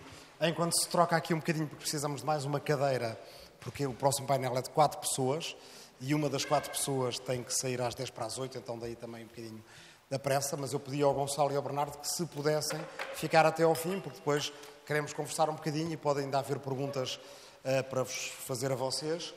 Uh, nunca tenham medo de falar, seja ou de história de, de políticas de habitação ou de história do cooperativismo, porque boa parte do que a gente precisa fazer, mesmo quando se fala todos os dias em inovação, inovação, inovação, nunca esquecer que uma parte da inovação é aquilo que podíamos chamar envelhação, ou seja, ir buscar ideias velhas que podem ser readaptadas e também de cada vez que fazemos inovação estamos a fazer uma coisa que já fizemos muitas vezes. Portanto, a inovação não é uh, nunca partir completamente do zero. É verdade que havia uma tradição filosófica e ideológica de cooperativismo em Portugal, no final do século XIX, que influenciou tanto o primeiro Partido Socialista que houve, do Antero de Cantal, que depois uh, desapareceu, uh, como os anarquistas, que depois foram fundar a Confederação Geral do Trabalho, a Voz do Operário e por aí afora. E ambas essas correntes, que eram do chamado socialismo prudoniano, vão influenciar o que é o grande teórico cooperativista e, ao mesmo tempo, grande opositor ao Estado Novo uh, de, de, de, de, meados do século, que é o António Sérgio, de que se comemorou uh, 100 anos do seu nascimento em, uh, em 2019. Uh, não, 150 anos do seu nascimento, assim é que é.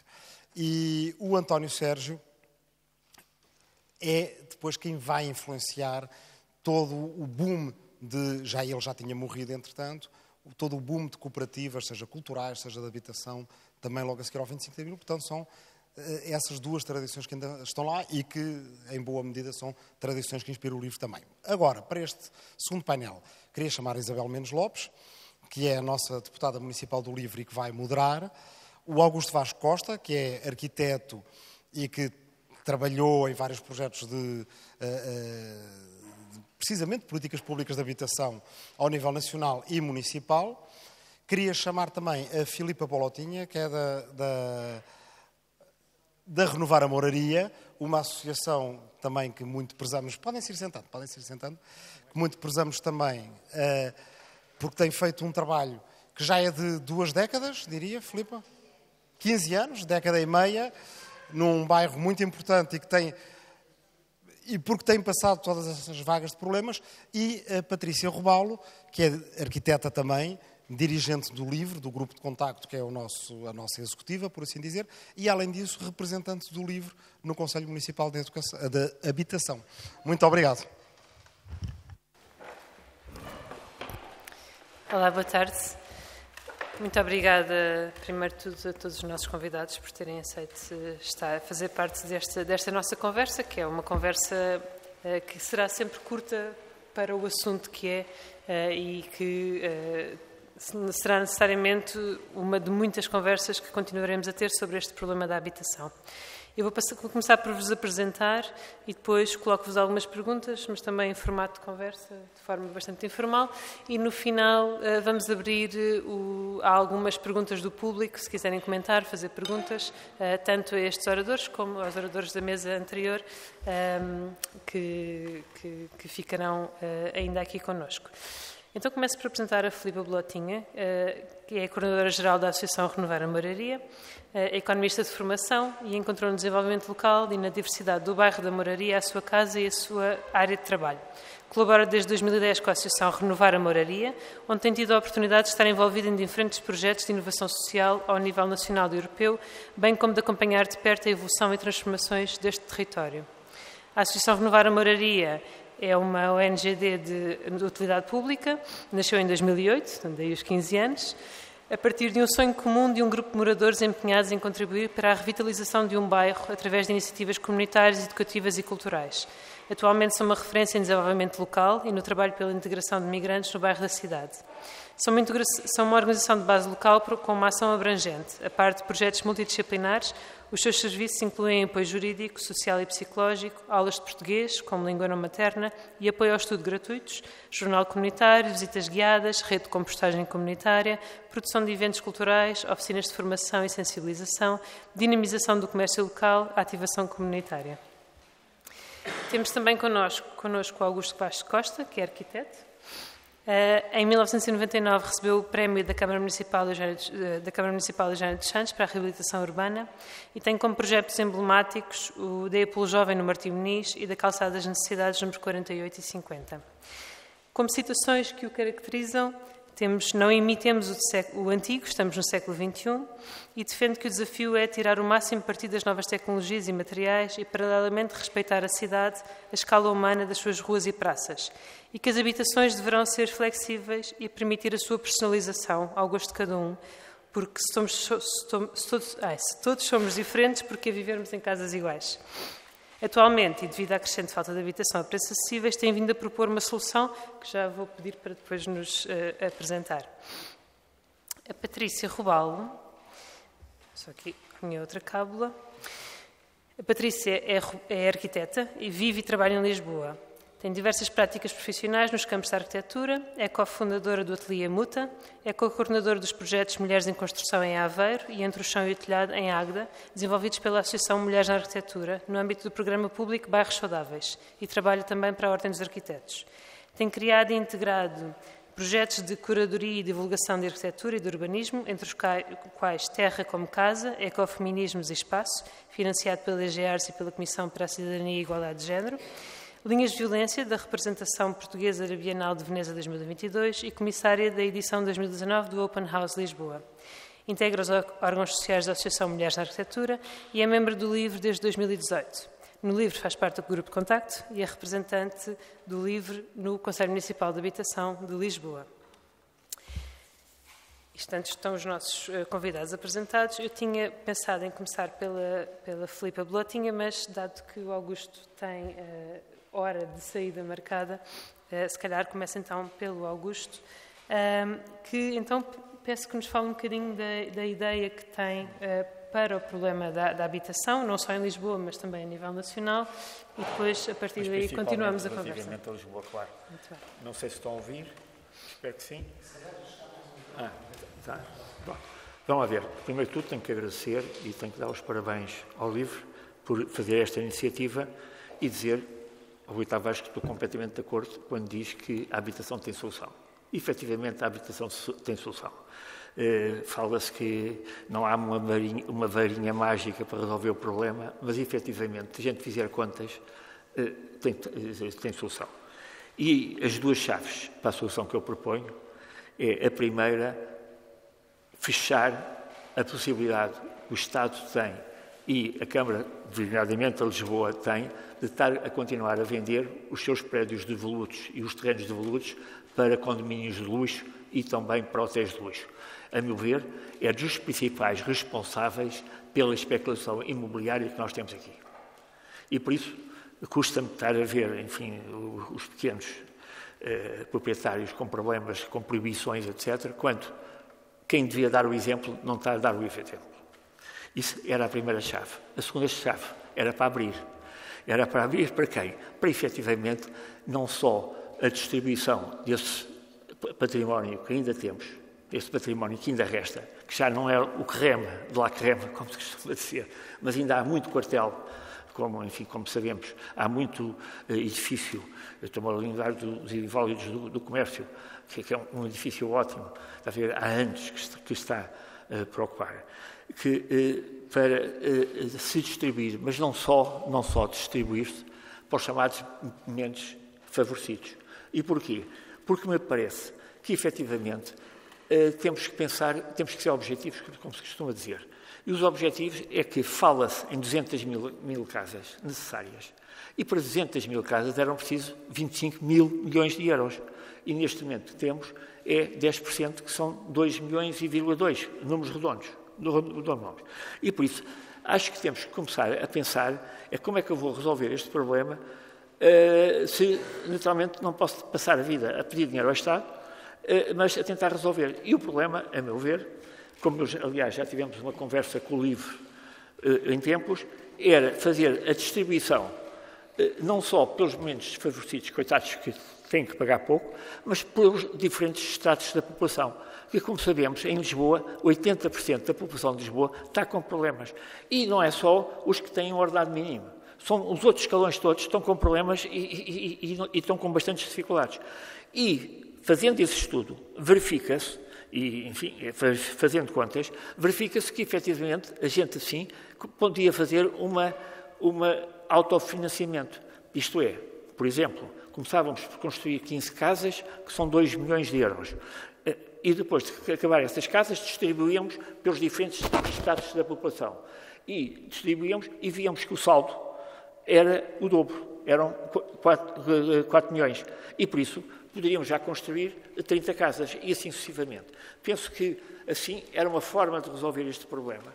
Agora, não há dúvida que eh, não está de acordo, se calhar não, não está de acordo com, com, a, minha proposta. Mas eu, eu, acho que era uma forma, não sei se a cara não, estou, estou-me a enganar, eu peço desculpa.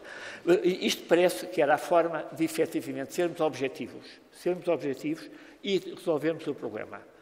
E ficava para já por aqui, naturalmente, naturalmente depois, se houvesse tempo, porque, enfim, não há dúvida que já é tarde, falaria é que a cidade não é só habitação, por isso há um problema gravíssimo, que é, por vezes, a gente esquece e estamos a fazer dormitórios em vez de, e, e não estamos a resolver o problema. O, o outro tema é o que é uma habitação digna. Porque esta coisa de termos 26 milhões, aliás, 2,2 milhões para fazer 26 mil casas, dá casas de 43 metros quadrados. Ora, eu pergunto se isso é uma casa digna. Uh, ainda por cima, as, as famílias de, menos favorecidas, ainda por cima, têm se calhar mais filhos. E, por fim, o que eu dizia, eh, que era o epílogo, se tivermos tempo, porque andar como estamos a andar até agora, eu peço imensa desculpa, mas vamos cair num populismo. Aliás, vê-se as sondagens de ontem, o que é que mostram? É o, o, o, Chega a subir e os outros estáveis. Porquê? Porque, a meu ver, não estou a ver, e peço desculpa, mas não estou a ver soluções preto no branco a denunciar esta pouca vergonha que eu acho que é de, efetivamente, o Estado e a Câmara de Lisboa estarem a, vender.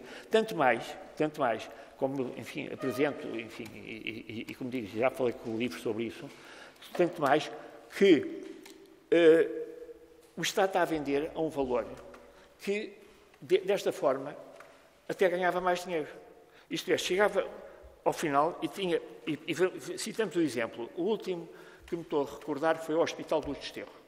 O Hospital do Desterro foi vendido não sei por quantos milhões, mas o que me ficou na cabeça foi que, dividindo pelos 8.500 metros quadrados, dava 1.250 euros o metro quadrado. Ora, segundo as minhas contas, isso está perfeitamente integrado no, no, na proposta que eu, que eu digo. Quer dizer, e, além, de, além de que a solução, conseguimos resolver este problema de, eh, para todos, habitação para todos, ainda por cima o Estado e a Câmara iam receber uma mais-valia igual àquilo que estão a vender. Porque o, o Hospital do Esterro deve ter sido o, o, o, hospital mais caro que foi vendido. Porque os outros preços que eu tenho aqui é 500 euros o metro quadrado, 400, 600. Quer dizer, não é. E isso mostra que isto devia ser tudo revisto. E pronto, está, está conversado. Obrigada. Portanto, portanto se se bem entendi, a ideia será, uh, portanto, com o preço de, que, por, pelo qual uma casa é vendida, uh, no fundo conseguem-se construir duas casas? Mais Não é o preço de uma, atenção. Uh, temos que dividir isto Dividindo pelos, pelos vários estratos sociais. Exatamente. Estamos a falar 15 casas. Por isso, Sim. vamos começar pelos, pelos sem-abrigo, que também têm direito, embora proporcionalmente eu não vou dar uma casa, porque cada casa sem abrigo, não vou dar uma casa, enfim, pronto. Mas vamos distribuir, enfim, de 12 camadas sociais, e assim verifica-se que podemos ter esse salto positivo. Porquê? E, portanto, é um Porque misto... estou a vender. O, o, o, o, que está tabelado, podemos dizer assim, é a renda deve ser 30% do, do, do orçamento do agregado familiar. E sendo assim, naturalmente, um agregado familiar que tenha 8 mil euros ou, ou, 9, ou 7 mil por mês, com certeza tem uma renda superior. E, e com essa renda superior consegue equilibrar o outro que só tem o ordenado mínimo e que só pode pagar 100 euros ou 200 euros. Mas estamos a falar de um misto entre uh, acesso à propriedade e acesso ao arrendamento. Exatamente. Quer dizer, e depois, naturalmente, uh, pode-se vender as casas, mas isso depois era tudo uma questão de ver. E para quê? Para depois ter-se dinheiro para fazer as outras casas, claro. Muito bem. Então já, já voltamos a isso. Estou, estou abrindo aqui a conversa também. Uh, Filipa, de, de, todas as propostas, vocês têm uma grande experiência, a moraria, na verdade, o, o, problema, o problema da habitação não é um problema de agora, é um problema de. Acho, acho que já está ligado. Está ligado, está. O problema da habitação não é um problema de agora, é um problema que já existe desde há muito tempo. Agora, eh, no fundo, atingiu, eh, se calhar, muito mais pessoas e está a atingir pessoas eh, de uma classe média que não viam esse problema, mas a verdade é que já existe há muito tempo para muitas pessoas Uh, e, e, a moraria tem sido também um, um, rosto do problema da habitação já há muitos anos. Uh, podemos pensar nas gaulesas da moraria, podemos pensar, uh, agora, ainda há poucas semanas, tivemos o trágico acidente também na moraria. Portanto, é um bairro que tem vindo a, a sofrer uma grande pressão tem-se revitalizado muito, é verdade, mas tem sofrido também uma grande pressão do lado do setor imobiliário e, e, e tem havido um, um, um afastamento do, dos seus habitantes originais. Um, e por isso, dada a vossa experiência no terreno e, e, no fundo, o acompanhamento destas, desta questão durante estes, estes 15 anos, qual é a visão que têm destas novas medidas que têm sido apresentadas, tanto do lado do Governo como do lado da Câmara Municipal de Lisboa? Uh, queria assim um comentário Sim, geral. Bem, antes de mais, boa tarde a todas as pessoas e agradeço o convite. Nós gostamos muito de participar uh, e dou os parabéns ao LIVRE pela iniciativa em tudo o que são momentos em que se possa aproximar não é especificamente o caso do livro, mas, enfim, generalizando, a decisão política do mundo real, porque eu acho que um dos problemas que vivemos é também esse afastamento, não é? Não é o sistémico, mas esse é um problema real. Bem, eu quando vim para aqui, a única pergunta à qual eu disse que não ia responder era precisamente analisar as políticas, quer da Câmara, quer porque eu não tenho conhecimentos para isso, não é, esse, não é essa a partilha mais rica que eu possa fazer convosco, ainda para mais porque são notícias muito recentes e, portanto, o que nós tentamos sempre fazer nestas situações é aprender com quem sabe, até termos uma opinião estruturada, partilhar apenas, e isso mais do que em nome da moraria, mas talvez eh, em nome pessoal, mas que será, posso, posso dizer que é uma reflexão nossa, do nosso coletivo, é que independentemente da pertinência ou não das políticas e dos erros que possam ter, eh, como cidadã e como pessoa que trabalha no, no terceiro setor, algo ativista e que, defensora do, do desenvolvimento local, sinto uma frustração enorme porque o que nós vemos na comunicação social e entre a classe política, seja quem decidiu, seja os opositores, agora o Costa pôs nas câmaras e as câmaras são da oposição, não é não há uma palavra para a consciencialização de que há um problema emergente e por isso foi feito um programa estrutural. Parece que, e as pessoas não estão a perceber isso, não é? E portanto, isso frustra-me um bocado, que é independentemente de todas as falhas ou não que estas medidas possam ter e do facto de elas poderem seguramente ser estruturadas, eu não sinto, ou nós não sentimos, quem trabalha no terreno não sente, uma vontade genuína de quem tem o poder de sair da sua bolha política e do seu espaço ideológico e entender, tentar em conjunto, efetivamente criar uma resposta, que é uma resposta de emergência, isso assim eu posso dizer. Eu hoje vinha para aqui e é engraçado que o Facebook partilhou uma memória de uma intervenção artística que nós fizemos há sete anos, em 2017, no Largo da Achada, e eram tendas a dizer Lisboa está zangada, precisamos de mais casas. Portanto, em 2017 isto era um problema. E, portanto, em 2023 este problema está gigante, não é? E, portanto, e, isto é engraçado, e depois já, já vou terminar este tema, que é precisamente por isso que depois não há tempo para pensar nas cooperativas e para discutir, sabes? Porque nós estamos sempre em urgência, mas não precisávamos de estar, porque há sete anos que nós sabíamos que isto ia acontecer. E, portanto, isso frustra-nos imenso e, e estamos uh, preparados para. e até fizemos alguns comentários na, na, na, consulta pública das medidas, mas de facto, em concreto, o que é que eu, e há outra coisa que eu acho que é super negativa, e eu não estou posso dizer isso, eu e a Renovar a Moraria não depositamos grande esperança na eficiência destas medidas, isso é certo, mas também porque elas já foram apresentadas nesse, com esse contexto, não é? Já há um, todo um carnaval político em torno, e se calhar é verdade, mas o que já passou cá para fora, para o comum dos mortais, é que estas medidas não vão funcionar. Pronto.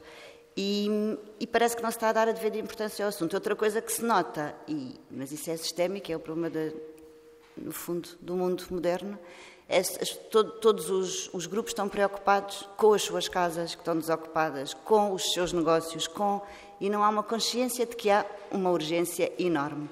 E eu, mais do que poder fazer um comentário técnico a achar que acho que em concreto para o bairro da Moraria não, não prevejo grande, grande impacto, porque a Moraria é um, é um exemplo paradigmático.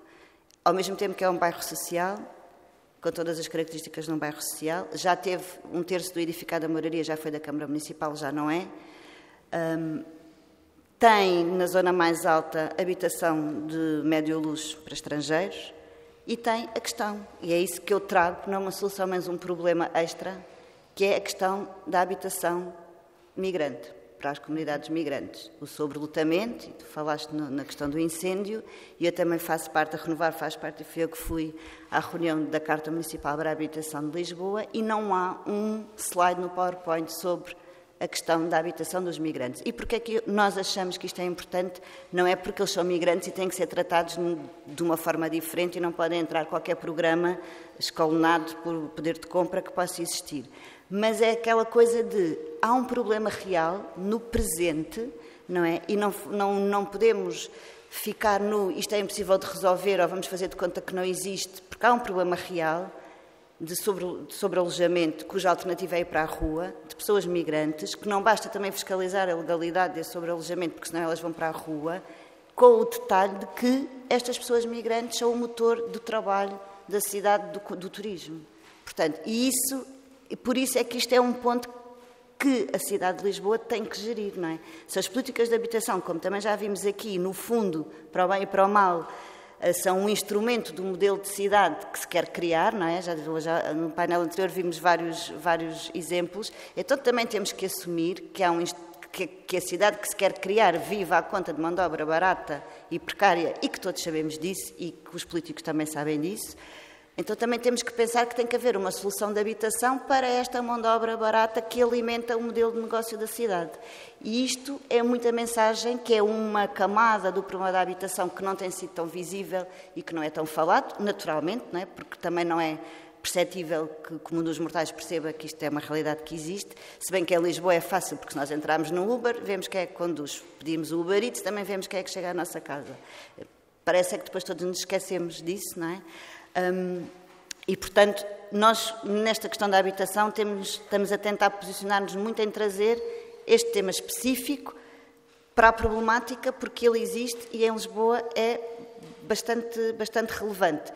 E, de repente, não é? Na, na esfera das pequenas soluções, não das estruturais, a ideia dos, das velhas casas com novos usos calha aqui muito bem com uma situação temporária de acolhimento mista, porque como, como o modelo que o senhor arquiteto falava, tem uma grande vantagem que é ser eh, não ser eh, segmentário, não é? Todas as pessoas vivem no mesmo prédio, no mesmo bairro. Eu adorava, mas a minha a minha, como é que se diz, a minha crença na humanidade põe em causa se as pessoas que ganham 8 mil euros quereriam viver num prédio em que há um sem-abrigo relojado no resto do chão, mas eu acho muito bem, e é esse modelo que também deve ser pensado, e por que não haver, uh, como é que é dizer também, desculpem, assumir-se que tem que haver uma solução temporária para pessoas que são migrantes, que não estão legais porque há três anos que os serviços de, de fronteiras não funcionam, e pensar também neste segmento. Portanto, eu trago essa problemática e para vou-me calar para responder à tua pergunta para a especificidade do bairro da Moraria, eu acho que estas medidas não vão ter, na verdade, grande impacto, porque nós já não temos muitos edifícios devolutos, temos alguns, não muitos.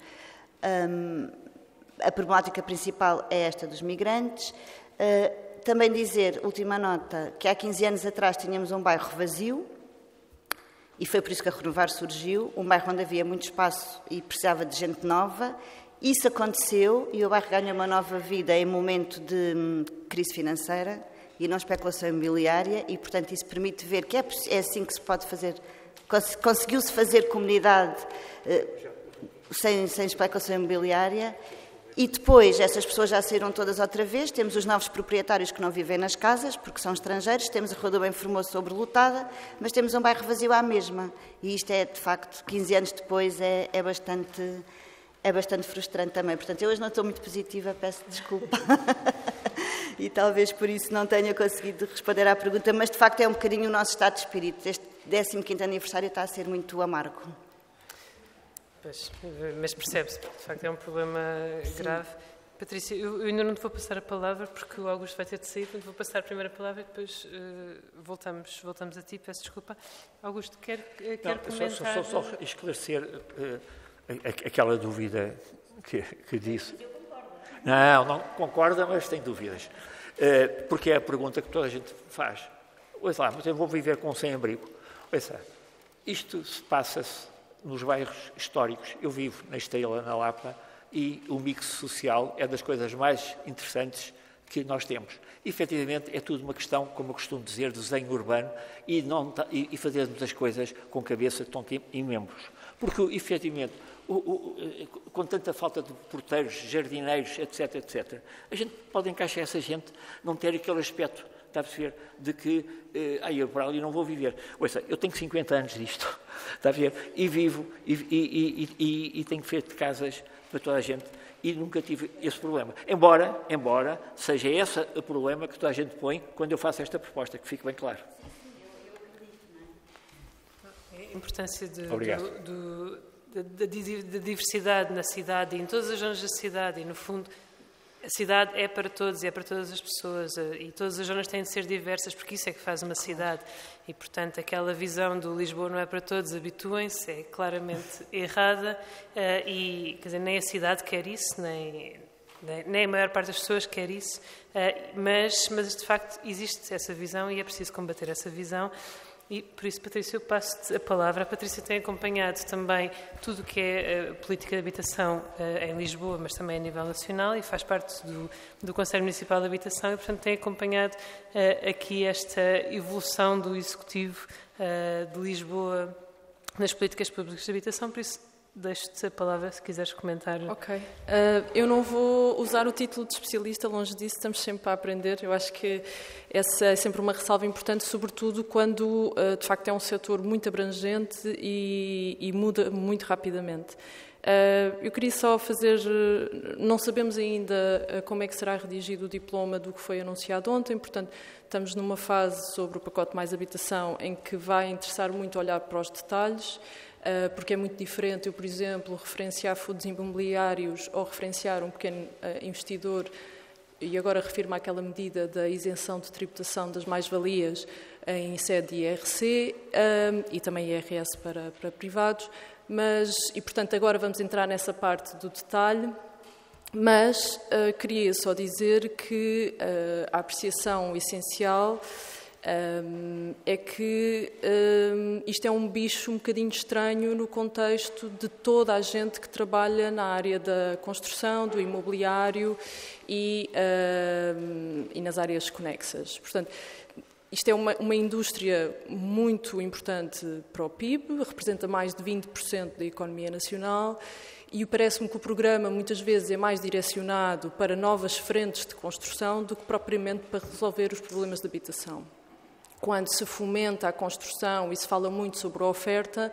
não há, e eu vou mesmo reforçar esta questão porque me parece essencial, não há uma perspectiva sobre que tipo de cidades é que nós estamos a construir e como é que o devíamos fazer. Ou seja, é mais habitação, mais habitação, mais habitação e não se fala sobre todo o entorno uh, uh, que, se, que, nós, uh, aliás, decidimos através da aprovação da Lei de Bases da Habitação consagrar de forma diferente daquilo que foi usado no PER, que é a ideia de habitar e, portanto, de alargar a ideia de habitação ao seu entorno urbanístico e ao e ao território. Portanto, esta questão que está a ser muito veiculada, eu só no fim de semana passado acho que li três artigos lançados ao mesmo tempo sobre esta ideia peregrina de que as pessoas mais pobres, com menos rendimentos, há sítios onde pura e simplesmente não podem viver.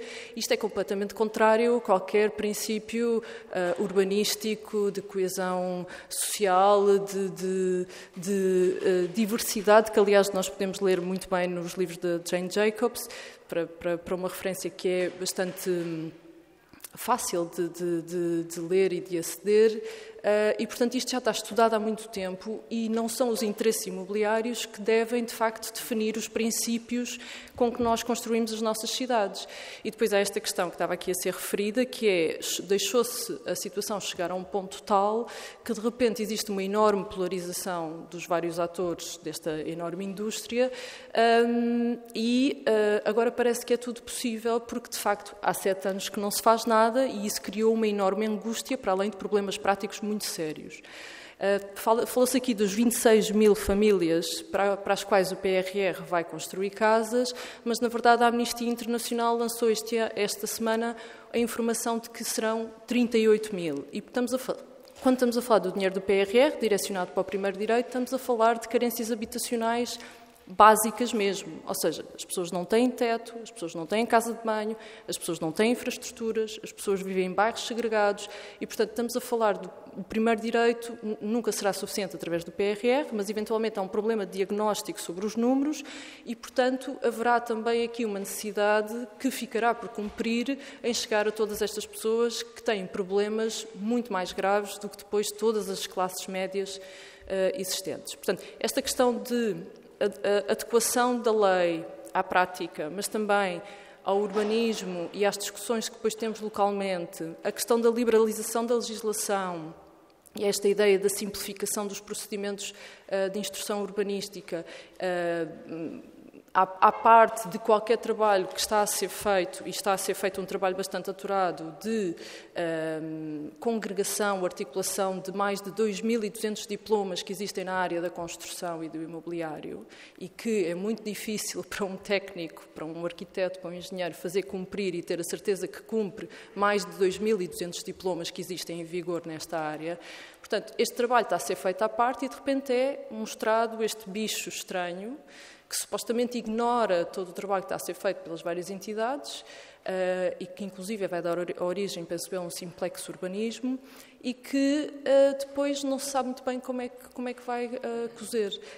Portanto, esta questão da simplificação dos licenciamentos é uma coisa que está a ser trabalhada. Vai, não, não vai acontecer agora em pouco tempo.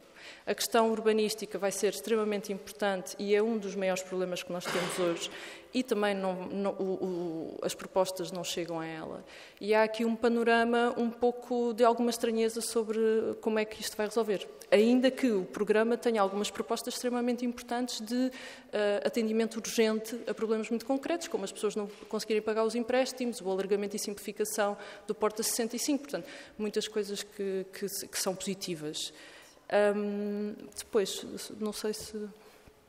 Sim, mas de qualquer maneira estamos a falar aqui de um problema que é, que é, que é estratégico e, portanto, haveria o tempo que é necessário para construir, de facto, políticas Sim. públicas de habitação com tempo e uh, pegando nas palavras, portanto, aproveitando também para construir comunidade à, à, medida que se constrói as políticas públicas de habitação.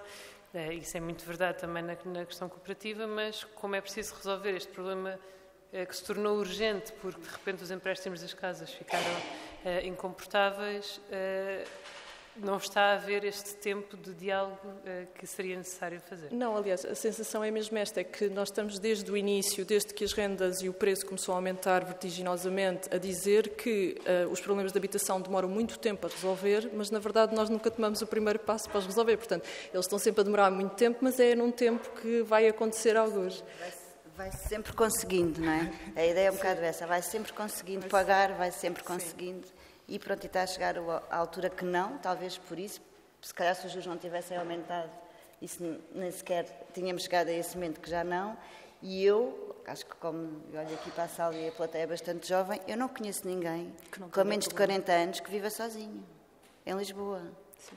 não é? Portanto, já não é, e também pensei nisso quando foi apresentada a Carta, a carta Municipal, não é quantas casas é que são precisas, porque há muito, são precisas muito mais casas, porque eu posso dizer que tenho casa porque vivo com quatro amigos meus, mas quer dizer, que às vezes claro. aos 40 anos claro. gostava de ter o meu espaço. Portanto, o, o, o, problema e o fenómeno é muito maior do que aquele mesmo que está mapeado. Por isto mesmo, porque há sempre uma solução e nós somos, os portugueses são ótimos a fazer isso, não é? Nós, eu tenho montes de colegas que realmente as pessoas conseguem sempre arranjar.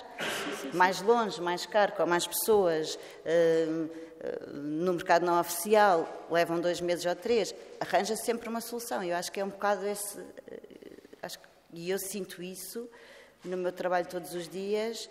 É que há esse uso das pessoas, porque no final do dia a gente consegue. Agora está mesmo a ficar muito mal. E por isso eu também trazer para aqui a questão dos imigrantes, porque eles às vezes não conseguem mesmo, não é? Porque para além de tudo o resto, e há muitos casos de famílias com dinheiro que não conseguem, porque como há muito pouca oferta, vão sempre ser escolhidas as primeiras famílias portuguesas e eu nem sequer estou a fazer com isto um juízo de valor. Não é? O proprietário associa a maior segurança, a menor risco. É mesmo assim que as coisas são, não, nem é isso, não é? E, portanto, é mesmo uma franja da nossa sociedade que vai crescer, inevitavelmente, nos próximos anos e que nós todos precisamos que cresça e que está completamente a ser ignorado que existe. E isto preocupa-me muito porque, se calhar, daqui a 20 anos estamos com um problema. Uh, o populismo já começou e nos últimos meses tivemos dois incidentes muito infelizes que alimentam esse populismo à grande. Mas, calhar, daqui a 20 anos temos um problema de criminalidade que está associado à imigração, não porque eles são imigrantes, mas por mais uma vez foram excluídos no, no, no seu processo de pertencer, eu já nem digo a uma a sociedade, mas a uma cidade. Outra última ideia, eh, de quem não percebe nada do assunto, um, que é esta ideia de que mesmo o agente económico ou a pessoa da classe média alta, ou mesmo o estrangeiro com mais dinheiro que vem viver para Portugal, quer dizer, quando nós estamos a esta ideia da propriedade privada ser eh, o direito, não é? E que foi muito patente com a questão do, do arrendamento forçado, que, que chamam expropriação, não é uma expropriação, enfim. Quer dizer, para nós, é muito melhor para o indivíduo que os outros, não me levem a mal o que eu vou dizer, mas não é que o servem, mas que trabalham nos serviços que ele usa, tenham uma qualidade de vida e tenham espaço na cidade. É que parece que todos nos estamos a esquecer disso. Se essas pessoas desaparecerem da cidade, a cidade deixa por simplesmente funcionar e nós, ou aquele que tem essa excelente qualidade de vida e que não quer abdicar da sua 15ª casa, não vai ter essa qualidade de vida porque a cidade não deixa de ser funcional. E pronto, eu acho que compete-nos a todos uh, tornar-nos, uh, ou sensibilizarmos um pouco para esta mensagem, é um trabalho muito inglório. Uh, pronto, não sei se vou voltar a falar, mas por agora termino dizendo que por isso mesmo, e ainda que tenha havido um pacote, e eu tenho que dizer que acho e que a Renovar acha que haver um pacote estrutural é sempre uma medida positiva, veio tarde, é? finalmente. Um, mas pronto, ainda assim, e porque ele está a ser muito, não está a ser aglomerador, mas está a ser completamente desfragmentado e polarizado e não se prevê que tenha algum efeito no curto prazo, uh, amanhã lá estaremos, dia 1 de abril, porque, e a nossa mensagem é mesmo essa, porque nós queremos ter vizinhos, não é? Nós queremos viver numa cidade com vizinhos. E, e, e é isso.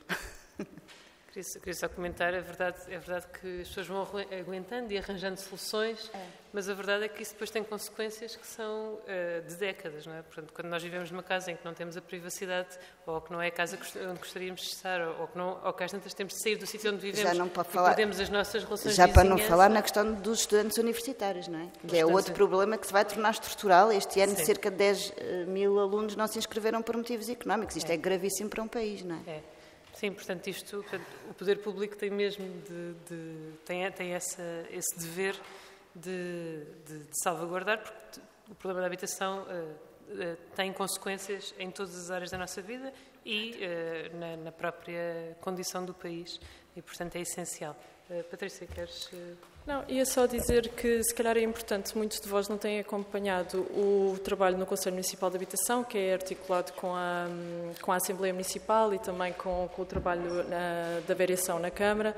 E nós, desde o início, portanto, uh, o, o, Conselho Municipal foi um, reiniciado, por assim dizer, uh, no início do ano passado, em fevereiro, e já aconteceram quatro reuniões.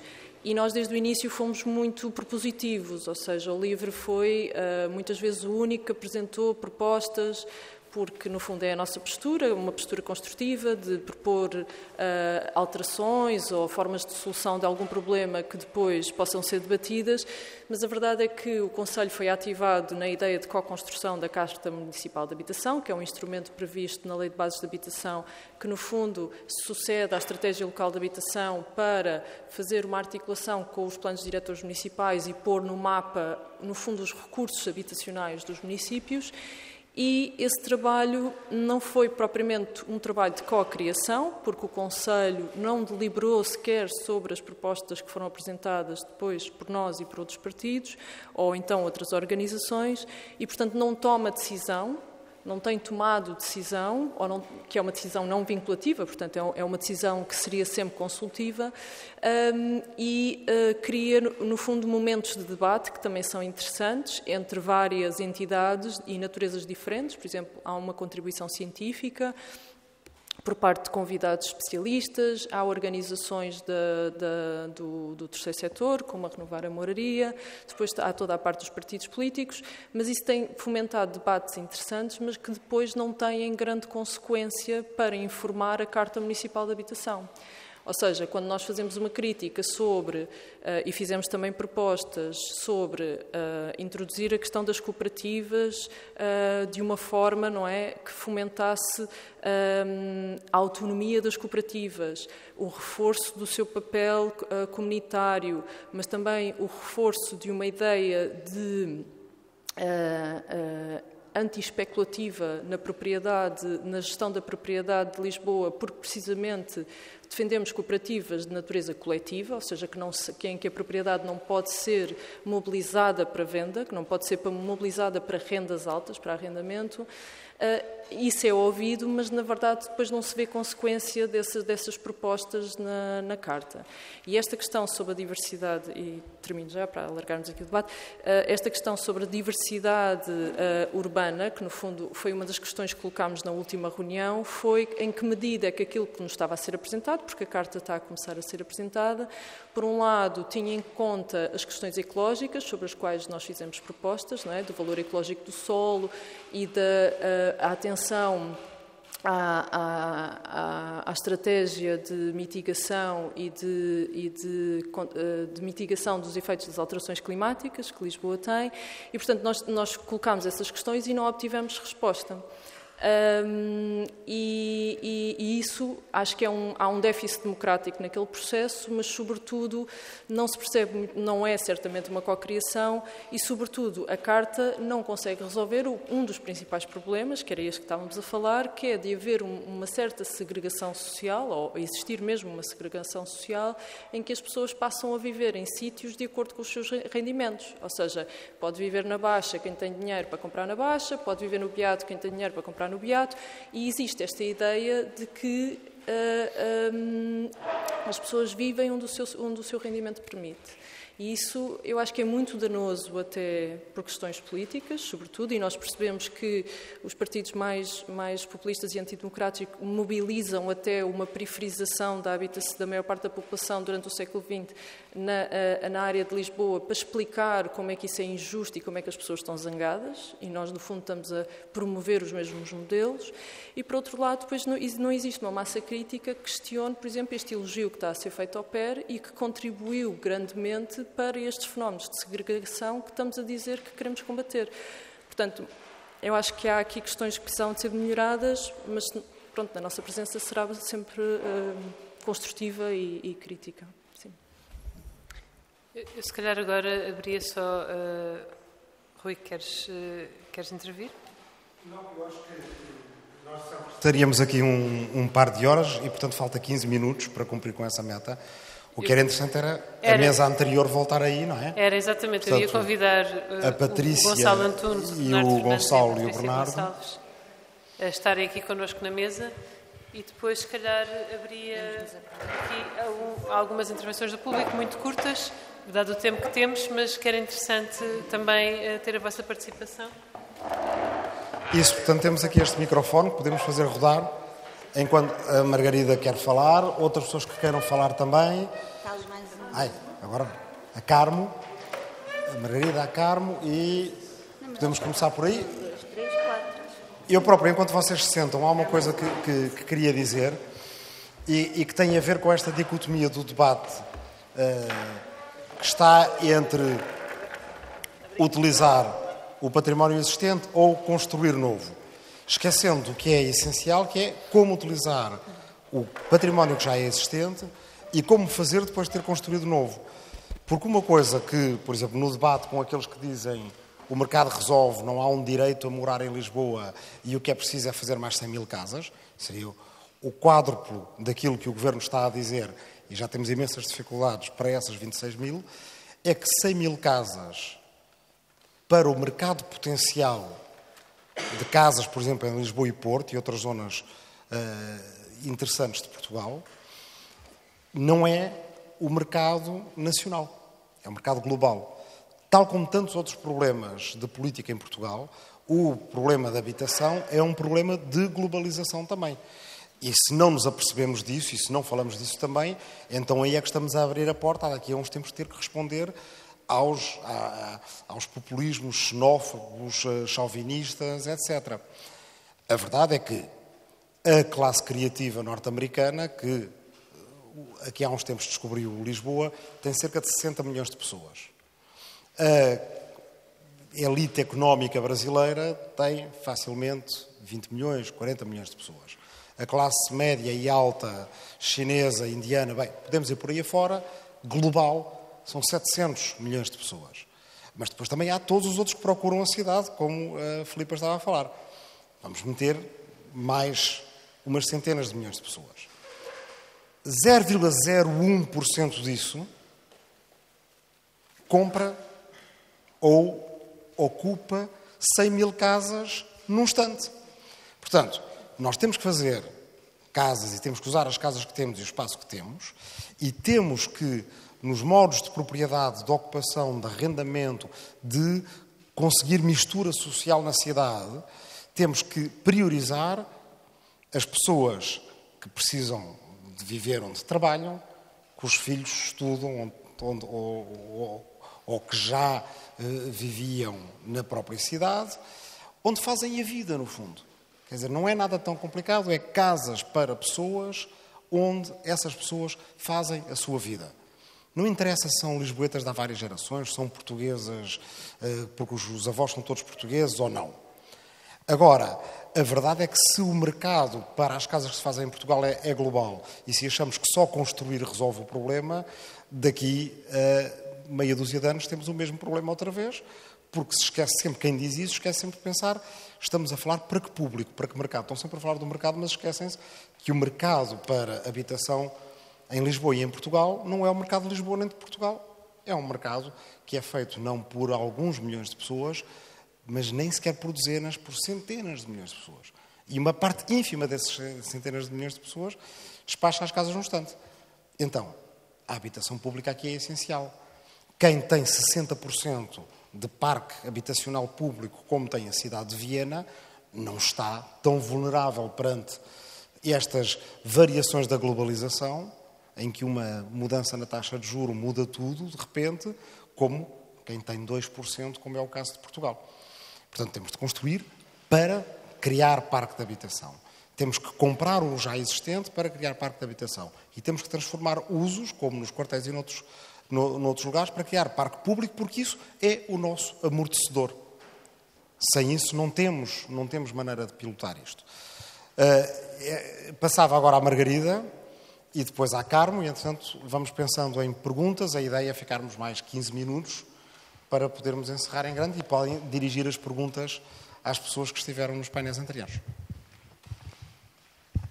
Uh, olá a todos, gostei muito das vossas intervenções, obrigada. Uh, eu tenho aqui umas perguntas, umas coisas que eu gostava de perceber. Uh, para começar, à, à Filipa, sobre a moraria, eu gostava de perceber um pouco melhor, normalmente em que condições é que vêm estes, migrantes, que tipo de encaminhamentos é que não existem em termos de articulação, não só a questão da habitação, mas também de regularização e etc.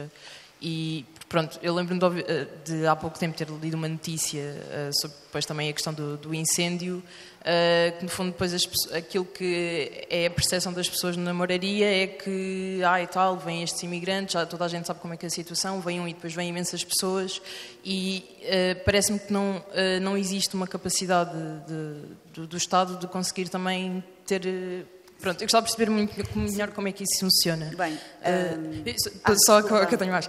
mais desculpa. Uh, e depois há outra coisa, uh, mais para a Patrícia e para a Isabel, que eu gostava de perguntar, porque eu, não, eu tenho a noção que sobre o Porta 65 houve uma atualização e agora supostamente é mais acessível, mas gostava de vos perguntar o quão acessível é e um pouco a opinião geral, porque eu não, não tenho opinião, nem, nem sei muito assim do programa e gostava de perceber. Uh, acho que a proposta do livro parece interessante em termos, não, pensar não só no arrendamento, mas do comprar casa. Um, e se não podíamos também pensar em alguma coisa do género, mesmo para estudantes universitários, uh, porque a Porta 105 penso que é só para pessoas jovens já uh, no mercado de trabalho.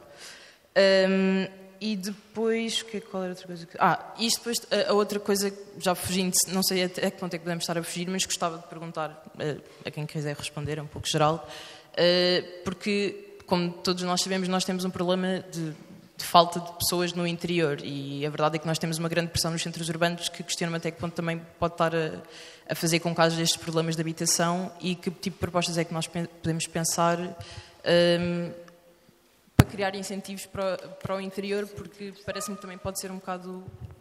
Não sei se está a funcionar. Está a funcionar. Ah, ok. Uh, pronto, e era isso. Deixa-me passar aqui à Carmo e não sei se há mais alguém. Podemos reunir três pessoas? Sim, reunimos e... três, é. três questões e. Okay. Obrigada. Eu faço parte de uma associação que se chama Ecobairros de Futuro, eh, que tem como objetivo eh, construir ou reabilitar eh, espaço urbano, portanto, a partir de património municipal ou, ou estatal. Uh, estamos uh, integrados numa, na rede Coabitar, a que o Bernardo já, já fez referência, e, e defendemos que uh, esses ecobairros devem ser geridos e habitados, portanto, habitados e, e geridos em modo cooperativo. E, portanto, defendemos eh, cooperativas de, de, propriedade coletiva eh, que eh, consideramos ser uma forma de combater a especulação imobiliária. Uh, acontece que uh, a Câmara, portanto, a vereadora, está a lançar um concurso para. Anunciou no Conselho Municipal de Habitação que existiria a possibilidade em Lisboa de construir ou reabilitar 500 fogos para cooperativas. Lançou agora um primeiro concurso de arquitetura para a qual as cooperativas não tiveram possibilidade de contribuir e vai agora abrir uh, o concurso para alguém se candidatar a construir aquele projeto que já está uh, concebido. A questão é que, para nós, uh, já questionámos várias vezes a, a, vereadora e o seu staff. Uh, e não é pacífico que seja destinado a cooperativas de propriedade coletiva. Eu recordo que houve uma resolução que foi aprovada em Câmara por proposta dos cidadãos por Lisboa, no sentido de uma reserva de uh, solo, de uma percentagem de solo municipal destinada a cooperativas de inclinato ou similares, portanto, cooperativas de propriedade coletiva, e parece-nos que uh, estas uh, propostas de, de variação para abrir concurso para cooperativas, parece-nos que não, é, não está claro que seja para cooperativas de propriedade coletiva e gostaríamos que essa resolução fosse efetivamente aplicada e, portanto, fazemos um apelo Eh, a quem tem voz eh, na Câmara para eh, defender esta ideia. Temos mais duas. Olá, boa tarde. Antes de mais, parabéns ao livro pela iniciativa e também pelas medidas apresentadas. Eu acho que reforçava aqui o ponto da centralização dos serviços todos em Lisboa, principalmente do trabalho. Eu venho do Porto há cinco anos que tenho trabalho só aqui na zona de Lisboa seja, até que ponto é que também, obviamente, que a globalização não está a pôr pressão e o turismo, mas também o, o facto de nosso país ser muito centralizado em Lisboa não está a aumentar uh, aqui a dificuldade da habitação. E pegando naquela medida de, da reabilitação de edifícios públicos, pensar até que ponto é que o terceiro setor também não tem aqui muita infraestrutura importante, nomeadamente a Misericórdia de Lisboa, onde já se vê também a desigualdade na atribuição das casas e também até, por exemplo, no Orçamento de Estado que houve ano passado, a atribuição gratuita de edifícios que pertenciam à administração pública passados à, à Misericórdia de Lisboa. E até que ponto é que não conseguiríamos agir também no, setor, eh, no terceiro setor para conseguir também fazer uma distribuição mais igualitária? Sara Gonçalves. Acho que tínhamos só mais, se calhar recolhemos mais uma e depois. Uh, olá, muito obrigado pela, pelas intervenções até agora. Uh, o meu nome é Pedro, já agora. Uh, eu acho que, a nível, a nível do, do, básico e do necessário, sim, acho que tem de ser uma, uma, uma medida política de fundo para garantir o direito à habitação, que, que, é, que é, o mínimo. no entanto, acho que as cooperativas têm um, têm um, podem ter um grande papel. e pronto, também não, não querendo aqui ser falacioso, mas a nível, a nível da energia, por exemplo, acho que as cooperativas com, estão a começar agora a, a ter muito feedback, a, a ter muita, um, muito campo, porque conseguem preços de metade de uma fatura que uma pessoa normal tem. Uh, e, portanto, só que na habitação eu ainda estou a tentar perceber um bocadinho como é que funciona. Ou seja, nós sabemos que temos cerca, acho que é cerca, os números podem, podem estar um bocado incorretos, foi o que eu encontrei, cerca de 400 mil casas em Lisboa, sei que cerca de 40%, quase metade, uh, está em, em uh, necessita de ser arranjado, não, não, é habitável, e, portanto, quando as cooperativas, o que eu encontro muito é para, construção, para nova construção. Ou seja, eu acho que a nível das residências poderiam ser utilizados estes grandes edifícios públicos ou mesmo de, de, do terceiro setor, uh, mas para tanta gente e para reduzir o preço por metro quadrado, se calhar temos de começar também a perceber na quantidade de área que existe e que não está utilizada. Portanto, não sei se existe. Ah, uma outra questão é como, é que como é que as cooperativas funcionam a nível individual, ou seja, é comprar títulos, é, é, é, é, quase como se fosse um crédito à, à, à, cooperativa e a cooperativa é que faz a compra. Como é que funciona essa, essa parte da, da habitação? Obrigado. Obrigada, Pedro. Então, eu se calhar passo agora aqui aos nossos oradores. Não sei se Filipa... Eu posso, sim, não vou, não vou, tomar muito tempo porque desviei um bocadinho do tema e já percebi né, que estamos em cima da hora, mas dizer que uh, os migrantes que chegam nomeadamente no nosso território, que são principalmente pessoas vindas da, Ásia, não é? Bangladesh, Paquistão, Nepal, etc., procuram uma vida melhor. Hoje, atualmente, são famílias, maioritariamente, e o que nós temos que perceber todos é que, mesmo vivendo num quarto com 20 pessoas, é muito melhor do que no país de origem. E é isso que, vai, que nos vai acontecer a todos na Europa, não é? É porque há crises gravíssimas e nós também estamos a terminar, os europeus, temos poucos filhos, portanto temos que nos habituar que vai haver aqui um padrão demográfico que é bastante diferente. Mas é isso, as pessoas vêm à procura de uma vida melhor. Um migrante económico não tem qualquer apoio do Estado direto, como sabemos, não é um refugiado. O que acontece é que desde a crise da Covid-19 a eficiência dos serviços públicos diminuiu de forma brutal. A questão da reestruturação do CEF, que depois não se reestruturou, fez com que pessoas que não estavam em condição regular passassem a estar e, portanto, há pessoas numa situação frágil, não, e estão a chegar mais pessoas, mas não porque há mais pessoas do que aquelas que a economia do país possa precisar, mas porque estão em situações de grande vulnerabilidade das quais é difícil sair, não é? Se nós não temos uma casa, também não vamos conseguir arranjar um trabalho. E se não temos os documentos, temos medo de nos expor e pronto. Muito resumidamente é esta a situação, mas depois se um dia quiseres passar a renovar a moraria, podemos falar mais em, em detalhe. Obrigada, Filipe. Se calhar passo então a Bernardo para, para falar um bocadinho do, das perguntas que foram okay. colocadas sobre cooperativas. Em, antes, antes, de dar essa resposta, queria só uh, dizer uma coisa que me esqueci há bocadinho, que queria agradecer a Renovar a Moraria, porque acho que se não fosse a Renovar a Moraria, a Rizoma não é o que é hoje. Não sei onde é que estaria, uh, mas a ajuda inicial uh, foi essencial, por isso, uh, obrigado. Uh, gosto sempre de fazer esta intervenção porque é mesmo, é mesmo muito importante e é a ideia de que as associações e as cooperativas e todo este tipo de, eh, de coletivos devem uh, ajudar-se uns aos outros para, para construirmos melhores cidades. Um, bom, duas coisas. Um, uma era sobre reabilitação e nova construção e outra sobre uh, como é que é isto, pertencer a uma, a uma cooperativa. Sobre a primeira, hum, de facto, reabilitar pode ser mais caro do que construir eh, de raiz, hum, mas pondo essa questão de, de, de, parte, eh, eu acho que uma das coisas muito importantes para as cooperativas seria termos de facto um inventário, uma listagem de, eh, de edifícios para reabilitar, ou pelo menos e, de, e, de, hum, e de terrenos disponíveis, sejam do Estado, sejam das, das câmaras municipais, para, para depois entre, entre, os diferentes tipos de cooperativas, no sentido em que têm diferentes membros com diferentes necessidades, um, pudesse haver uma discussão clara de quem é que poderia aceder ou não a determinados tipos de, uh, de edifícios para reabilitar ou de terrenos para uh, construir. Portanto, não há aqui uma, uma resposta uh, fechada. eu diria que, partindo do pressuposto teórico, a reabilitação seria sempre mais interessante do que a nova construção, mas isso depois, na prática, pode ser discutível. Um, e acho que também podíamos, podemos introduzir aqui outra variável, que é um, nesta ideia de se construir ou, ou, ou reabilitar, uh, ou até outros temas uh, relacionados com as cooperativas. Acho que era essencial haver um gabinete de desenvolvimento de cooperativas ou até especializado em cooperativas de habitação.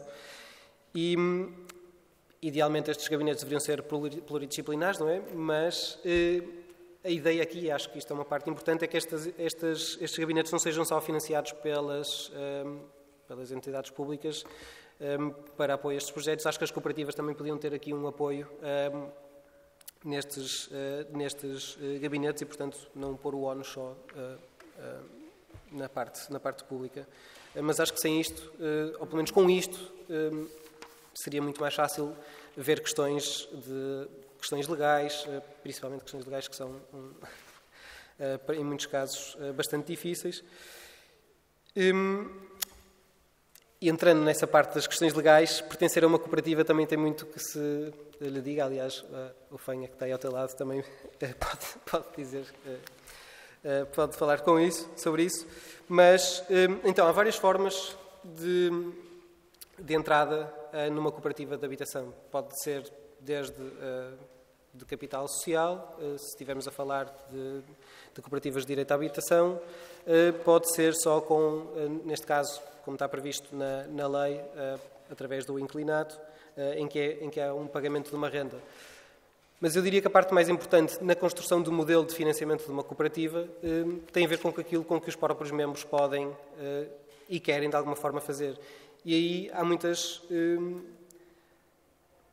dificuldades de encontrar isso espelhado, pelo menos até agora, e daí a importância de discutir política e discutir política em termos de legislação, de como é que nós podemos, por exemplo, criar uma, uma coisa que poderíamos chamar, por exemplo, de direito de uso, que é, há uma mistura entre, entre as pessoas que podem pagar capital social e, portanto, dão uma entrada na cooperativa um, e depois ficam a pagar um, uma renda uh, mensal. E como é que isto depois se articula dentro da própria cooperativa entre pessoas que têm mais uh, rendimento disponível para dar uma entrada, mas se calhar têm menos, uh, têm menos liquidez mensal para poder pagar uma mensalidade, uh, e pessoas em que acontece precisamente o contrário. E acho que poder criar estas, estas variações dentro da própria cooperativa e como é que em discussão interna e na criação dos próprios regulamentos se cria, se cria comunidade e se cria uma estrutura de membros que seja muito mais sólida eh, para depois conseguir também resolver eh, desafios que venham daí para a frente. E, portanto, também está muito ligado à questão do financiamento e como é que as cooperativas conseguem ter acesso eh, a financiamento. Ou seja, de uma forma mais tradicional possível, compras capital social para seres coproprietário da cooperativa. Depois, como é que esse mecanismo funciona internamente? Essa é a parte bonita, acho eu, ou essa é a beleza da criação de comunidade. Queria só dizer que uh, uma das propostas que, que, o Rui apresentou no início é exatamente um programa de apoio a, a, a, às cooperativas de habitação que, eh, entre, entre as questões de financiamento, tem também o tal gabinete uh, especializado de apoio em todas as áreas que, em que é necessário apoiar as cooperativas, tanto no, no início, digamos, do processo, como ao longo de todo, de todo, de todo o processo, que tem sempre desafios diferentes e e é. até, até refere a questão do inventário também. Sim, sim, isso, lá está. Foi uma das, das, eh, das, questões que foi chumbada, foi exatamente o inventário de todo o património público eh, que, que poderia ser aproveitado, por exemplo, para fins cooperativos também. Um, se calhar então passo a palavra ao Gonçalo. Não? Uh, então, Patrícia, força. Porta 65. Portanto, a Porta 65 é um programa que já existe há algum tempo, é dirigido ao arrendamento jovem, portanto, era até pessoas até aos 35 anos. havia um tabulamento das rendas e depois havia um apoio a essas rendas.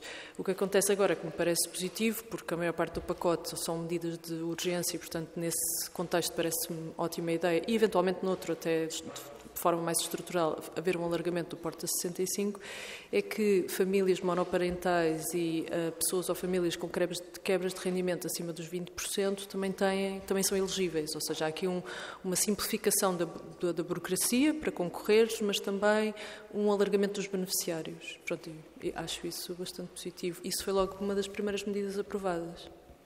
Dizer também que. Diz.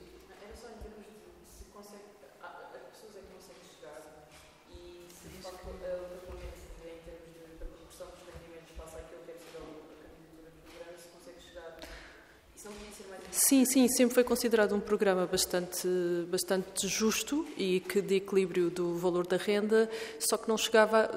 É, tem um pacote limitado, não sei quanto, quanto dinheiro é que agora está, está a ser mobilizado, isso confesso não sei. Mas, mas, mas era um programa de apoio para uma renda equilibrada, isso sim. Um, chegar aos jovens e sempre eu própria equacionei uh, recorrer ao Porta 65 e, sobretudo, havia muitas, muitos jovens que coabitavam numa fase inicial da sua independência que concorriam ao Porta 65. Isto, isto são, são, tudo, são tudo iniciativas interessantes porque também formaliza os contratos de arrendamento, ou seja, tu passas a ter uma formalização do teu contrato com o senhorio o que também é um bónus adicional para a tua própria proteção. Mas depois eh, há informação abundante sobre o programa online e, e, e pronto, é isso. Uh, sobre as cooperativas, queria dizer que no, o LIVRE sempre defendeu uh, as cooperativas de, de, propriedade coletiva, precisamente no sentido que várias pessoas aqui no, nos painéis disseram.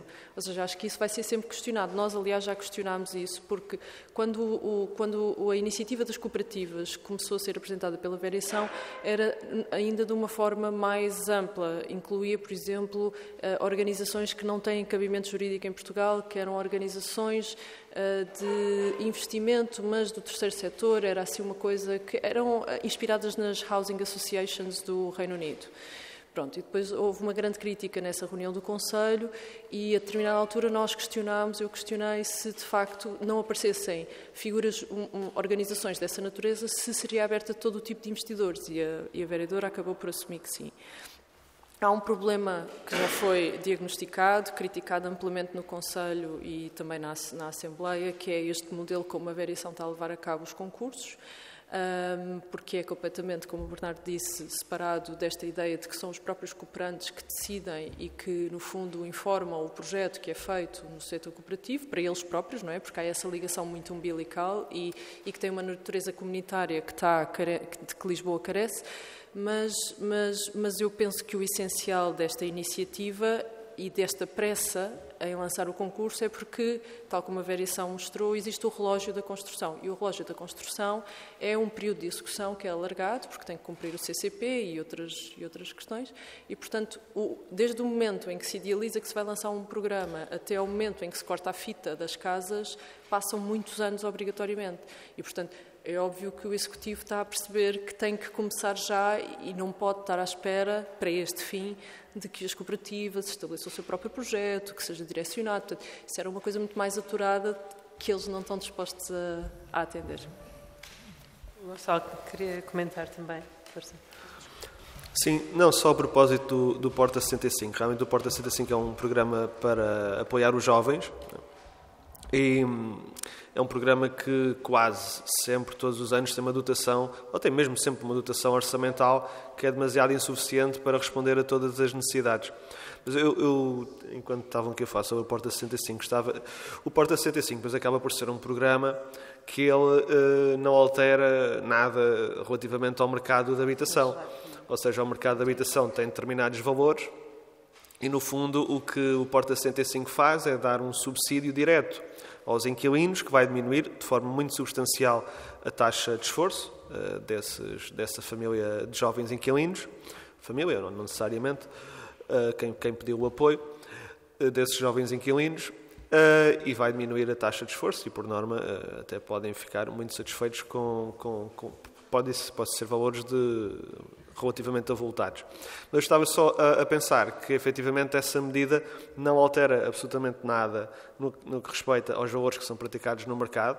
Há até quem defenda que contribui para sobreaquecer, porque os valores no mercado uh, continuam os mesmos. E isto para dizer que sei que há no espectro mais à esquerda, num livro não, não, não faço ideia, mas que não é uma, não é uma medida.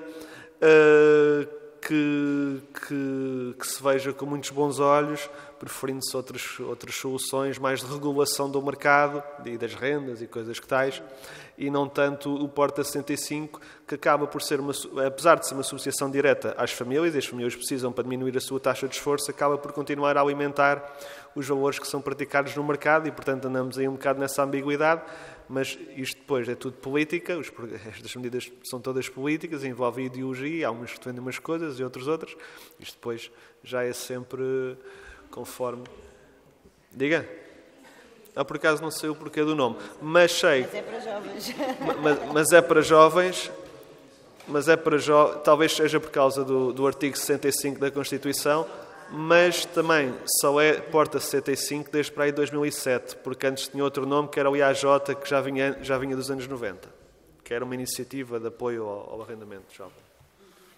Muito bem, só para responder muito rapidamente aqui à questão do, dos estudantes universitários, de facto é, é um problema que é urgente. Há muitas pessoas que deixam ou que têm deixado de estudar porque não conseguem alojamento e, portanto, é preciso, são precisas medidas imediatas e nós propusemos, por exemplo, o financiamento uh, direto de renda uh, para fazer face a este aumento de, das rendas, uh, mas isso também foi chumbado, além de, do da, da, da, reconversão, eh, mesmo que temporária, de espaços como os quartéis em residências universitárias, eh, além de todo o programa de construção de residências universitárias que, que tem de ser feito. Portanto, eh, de facto, é preciso resolver aqui o, o, acesso da, à habitação dos estudantes universitários em várias frentes. E para isso temos apresentado algumas alternativas. Também em relação à questão do interior e do problema da centralização depois em Lisboa, de facto, o país vive muito uh, ainda à volta de Lisboa e, e, e é preciso conseguirmos, uh, no fundo, contrariar esta tendência de acumulação em Lisboa, porque isso de facto. Depois toda a gente acaba por vir morar para Lisboa e, e, acaba, e acabamos por uh, ter um problema de habitação maior aqui e depois problemas de outro, de outro tipo no resto do país. Uh, e para isso também temos tentado apresentar algumas alternativas, uh, como, por exemplo, incentivos para, para que as pessoas se mudem para o interior ou que acompanhem a família, portanto, que toda a família vá para, para o interior. mas, mas, de facto, é preciso uma política de habitação, sendo que a habitação não é só a casa, é exatamente tudo o que está em volta, incluindo políticas de emprego para todo o país. Rui, então, se calhar passo-te a palavra para, para encerrares. Eu queria só deixar o apelo, porque de facto amanhã temos uma grande manifestação pela habitação em todo o país. Aqui em Lisboa, o ponto de encontro é na Alameda às 15 horas e é muito importante ter o máximo de pessoas na rua pela habitação. E, portanto, queria deixar esse apelo antes de passar ao Rui Tavares, que vai então fechar esta sessão e da minha Não, parte eu, quero agradecer também. Eu ia só agradecer e precisamente dizer que é, aqui em Lisboa é a partir das 15 horas na Alameda, é, no Porto, 15 horas, Praça da Batalha e depois, entretanto, foram-se agregando também manifestações em Coimbra, Aveiro, Braga e Viseu. Portanto, avisem o vosso pessoal que conheçam. É importante estarmos a fazer o que fizemos aqui hoje, ter uma refletir acerca deste tema e percebermos que, tal como ele tem eh, causas multifatoriais, também tem soluções multifatoriais, por isso, por isso é que pusemos ali este chaves para uma solução, no plural, eh, e, portanto, tentámos apresentar várias, mas depois é importante um momento de eh, sair para a rua e fazer um bocado de barulho para que seja dada prioridade a este, a este problema. Eu, às vezes, penso de todas as medidas que apresentámos, e aqui num, num, num parênteses, uma que fazia falta, nomeadamente em Lisboa, era de facto uma boa avaliação de risco sísmico nesta cidade. Pelo menos isso era. Não só estávamos a salvar vidas no futuro, como se calhar era capaz, dizemos aqui em voz baixa, de algumas das pessoas que vêm comprar casas por preços muito altos em Lisboa, se calhar perceberem-se que elas não valem assim tanto. Isso dava-nos jeito agora porque dava-nos aqui uma respiraçãozinha.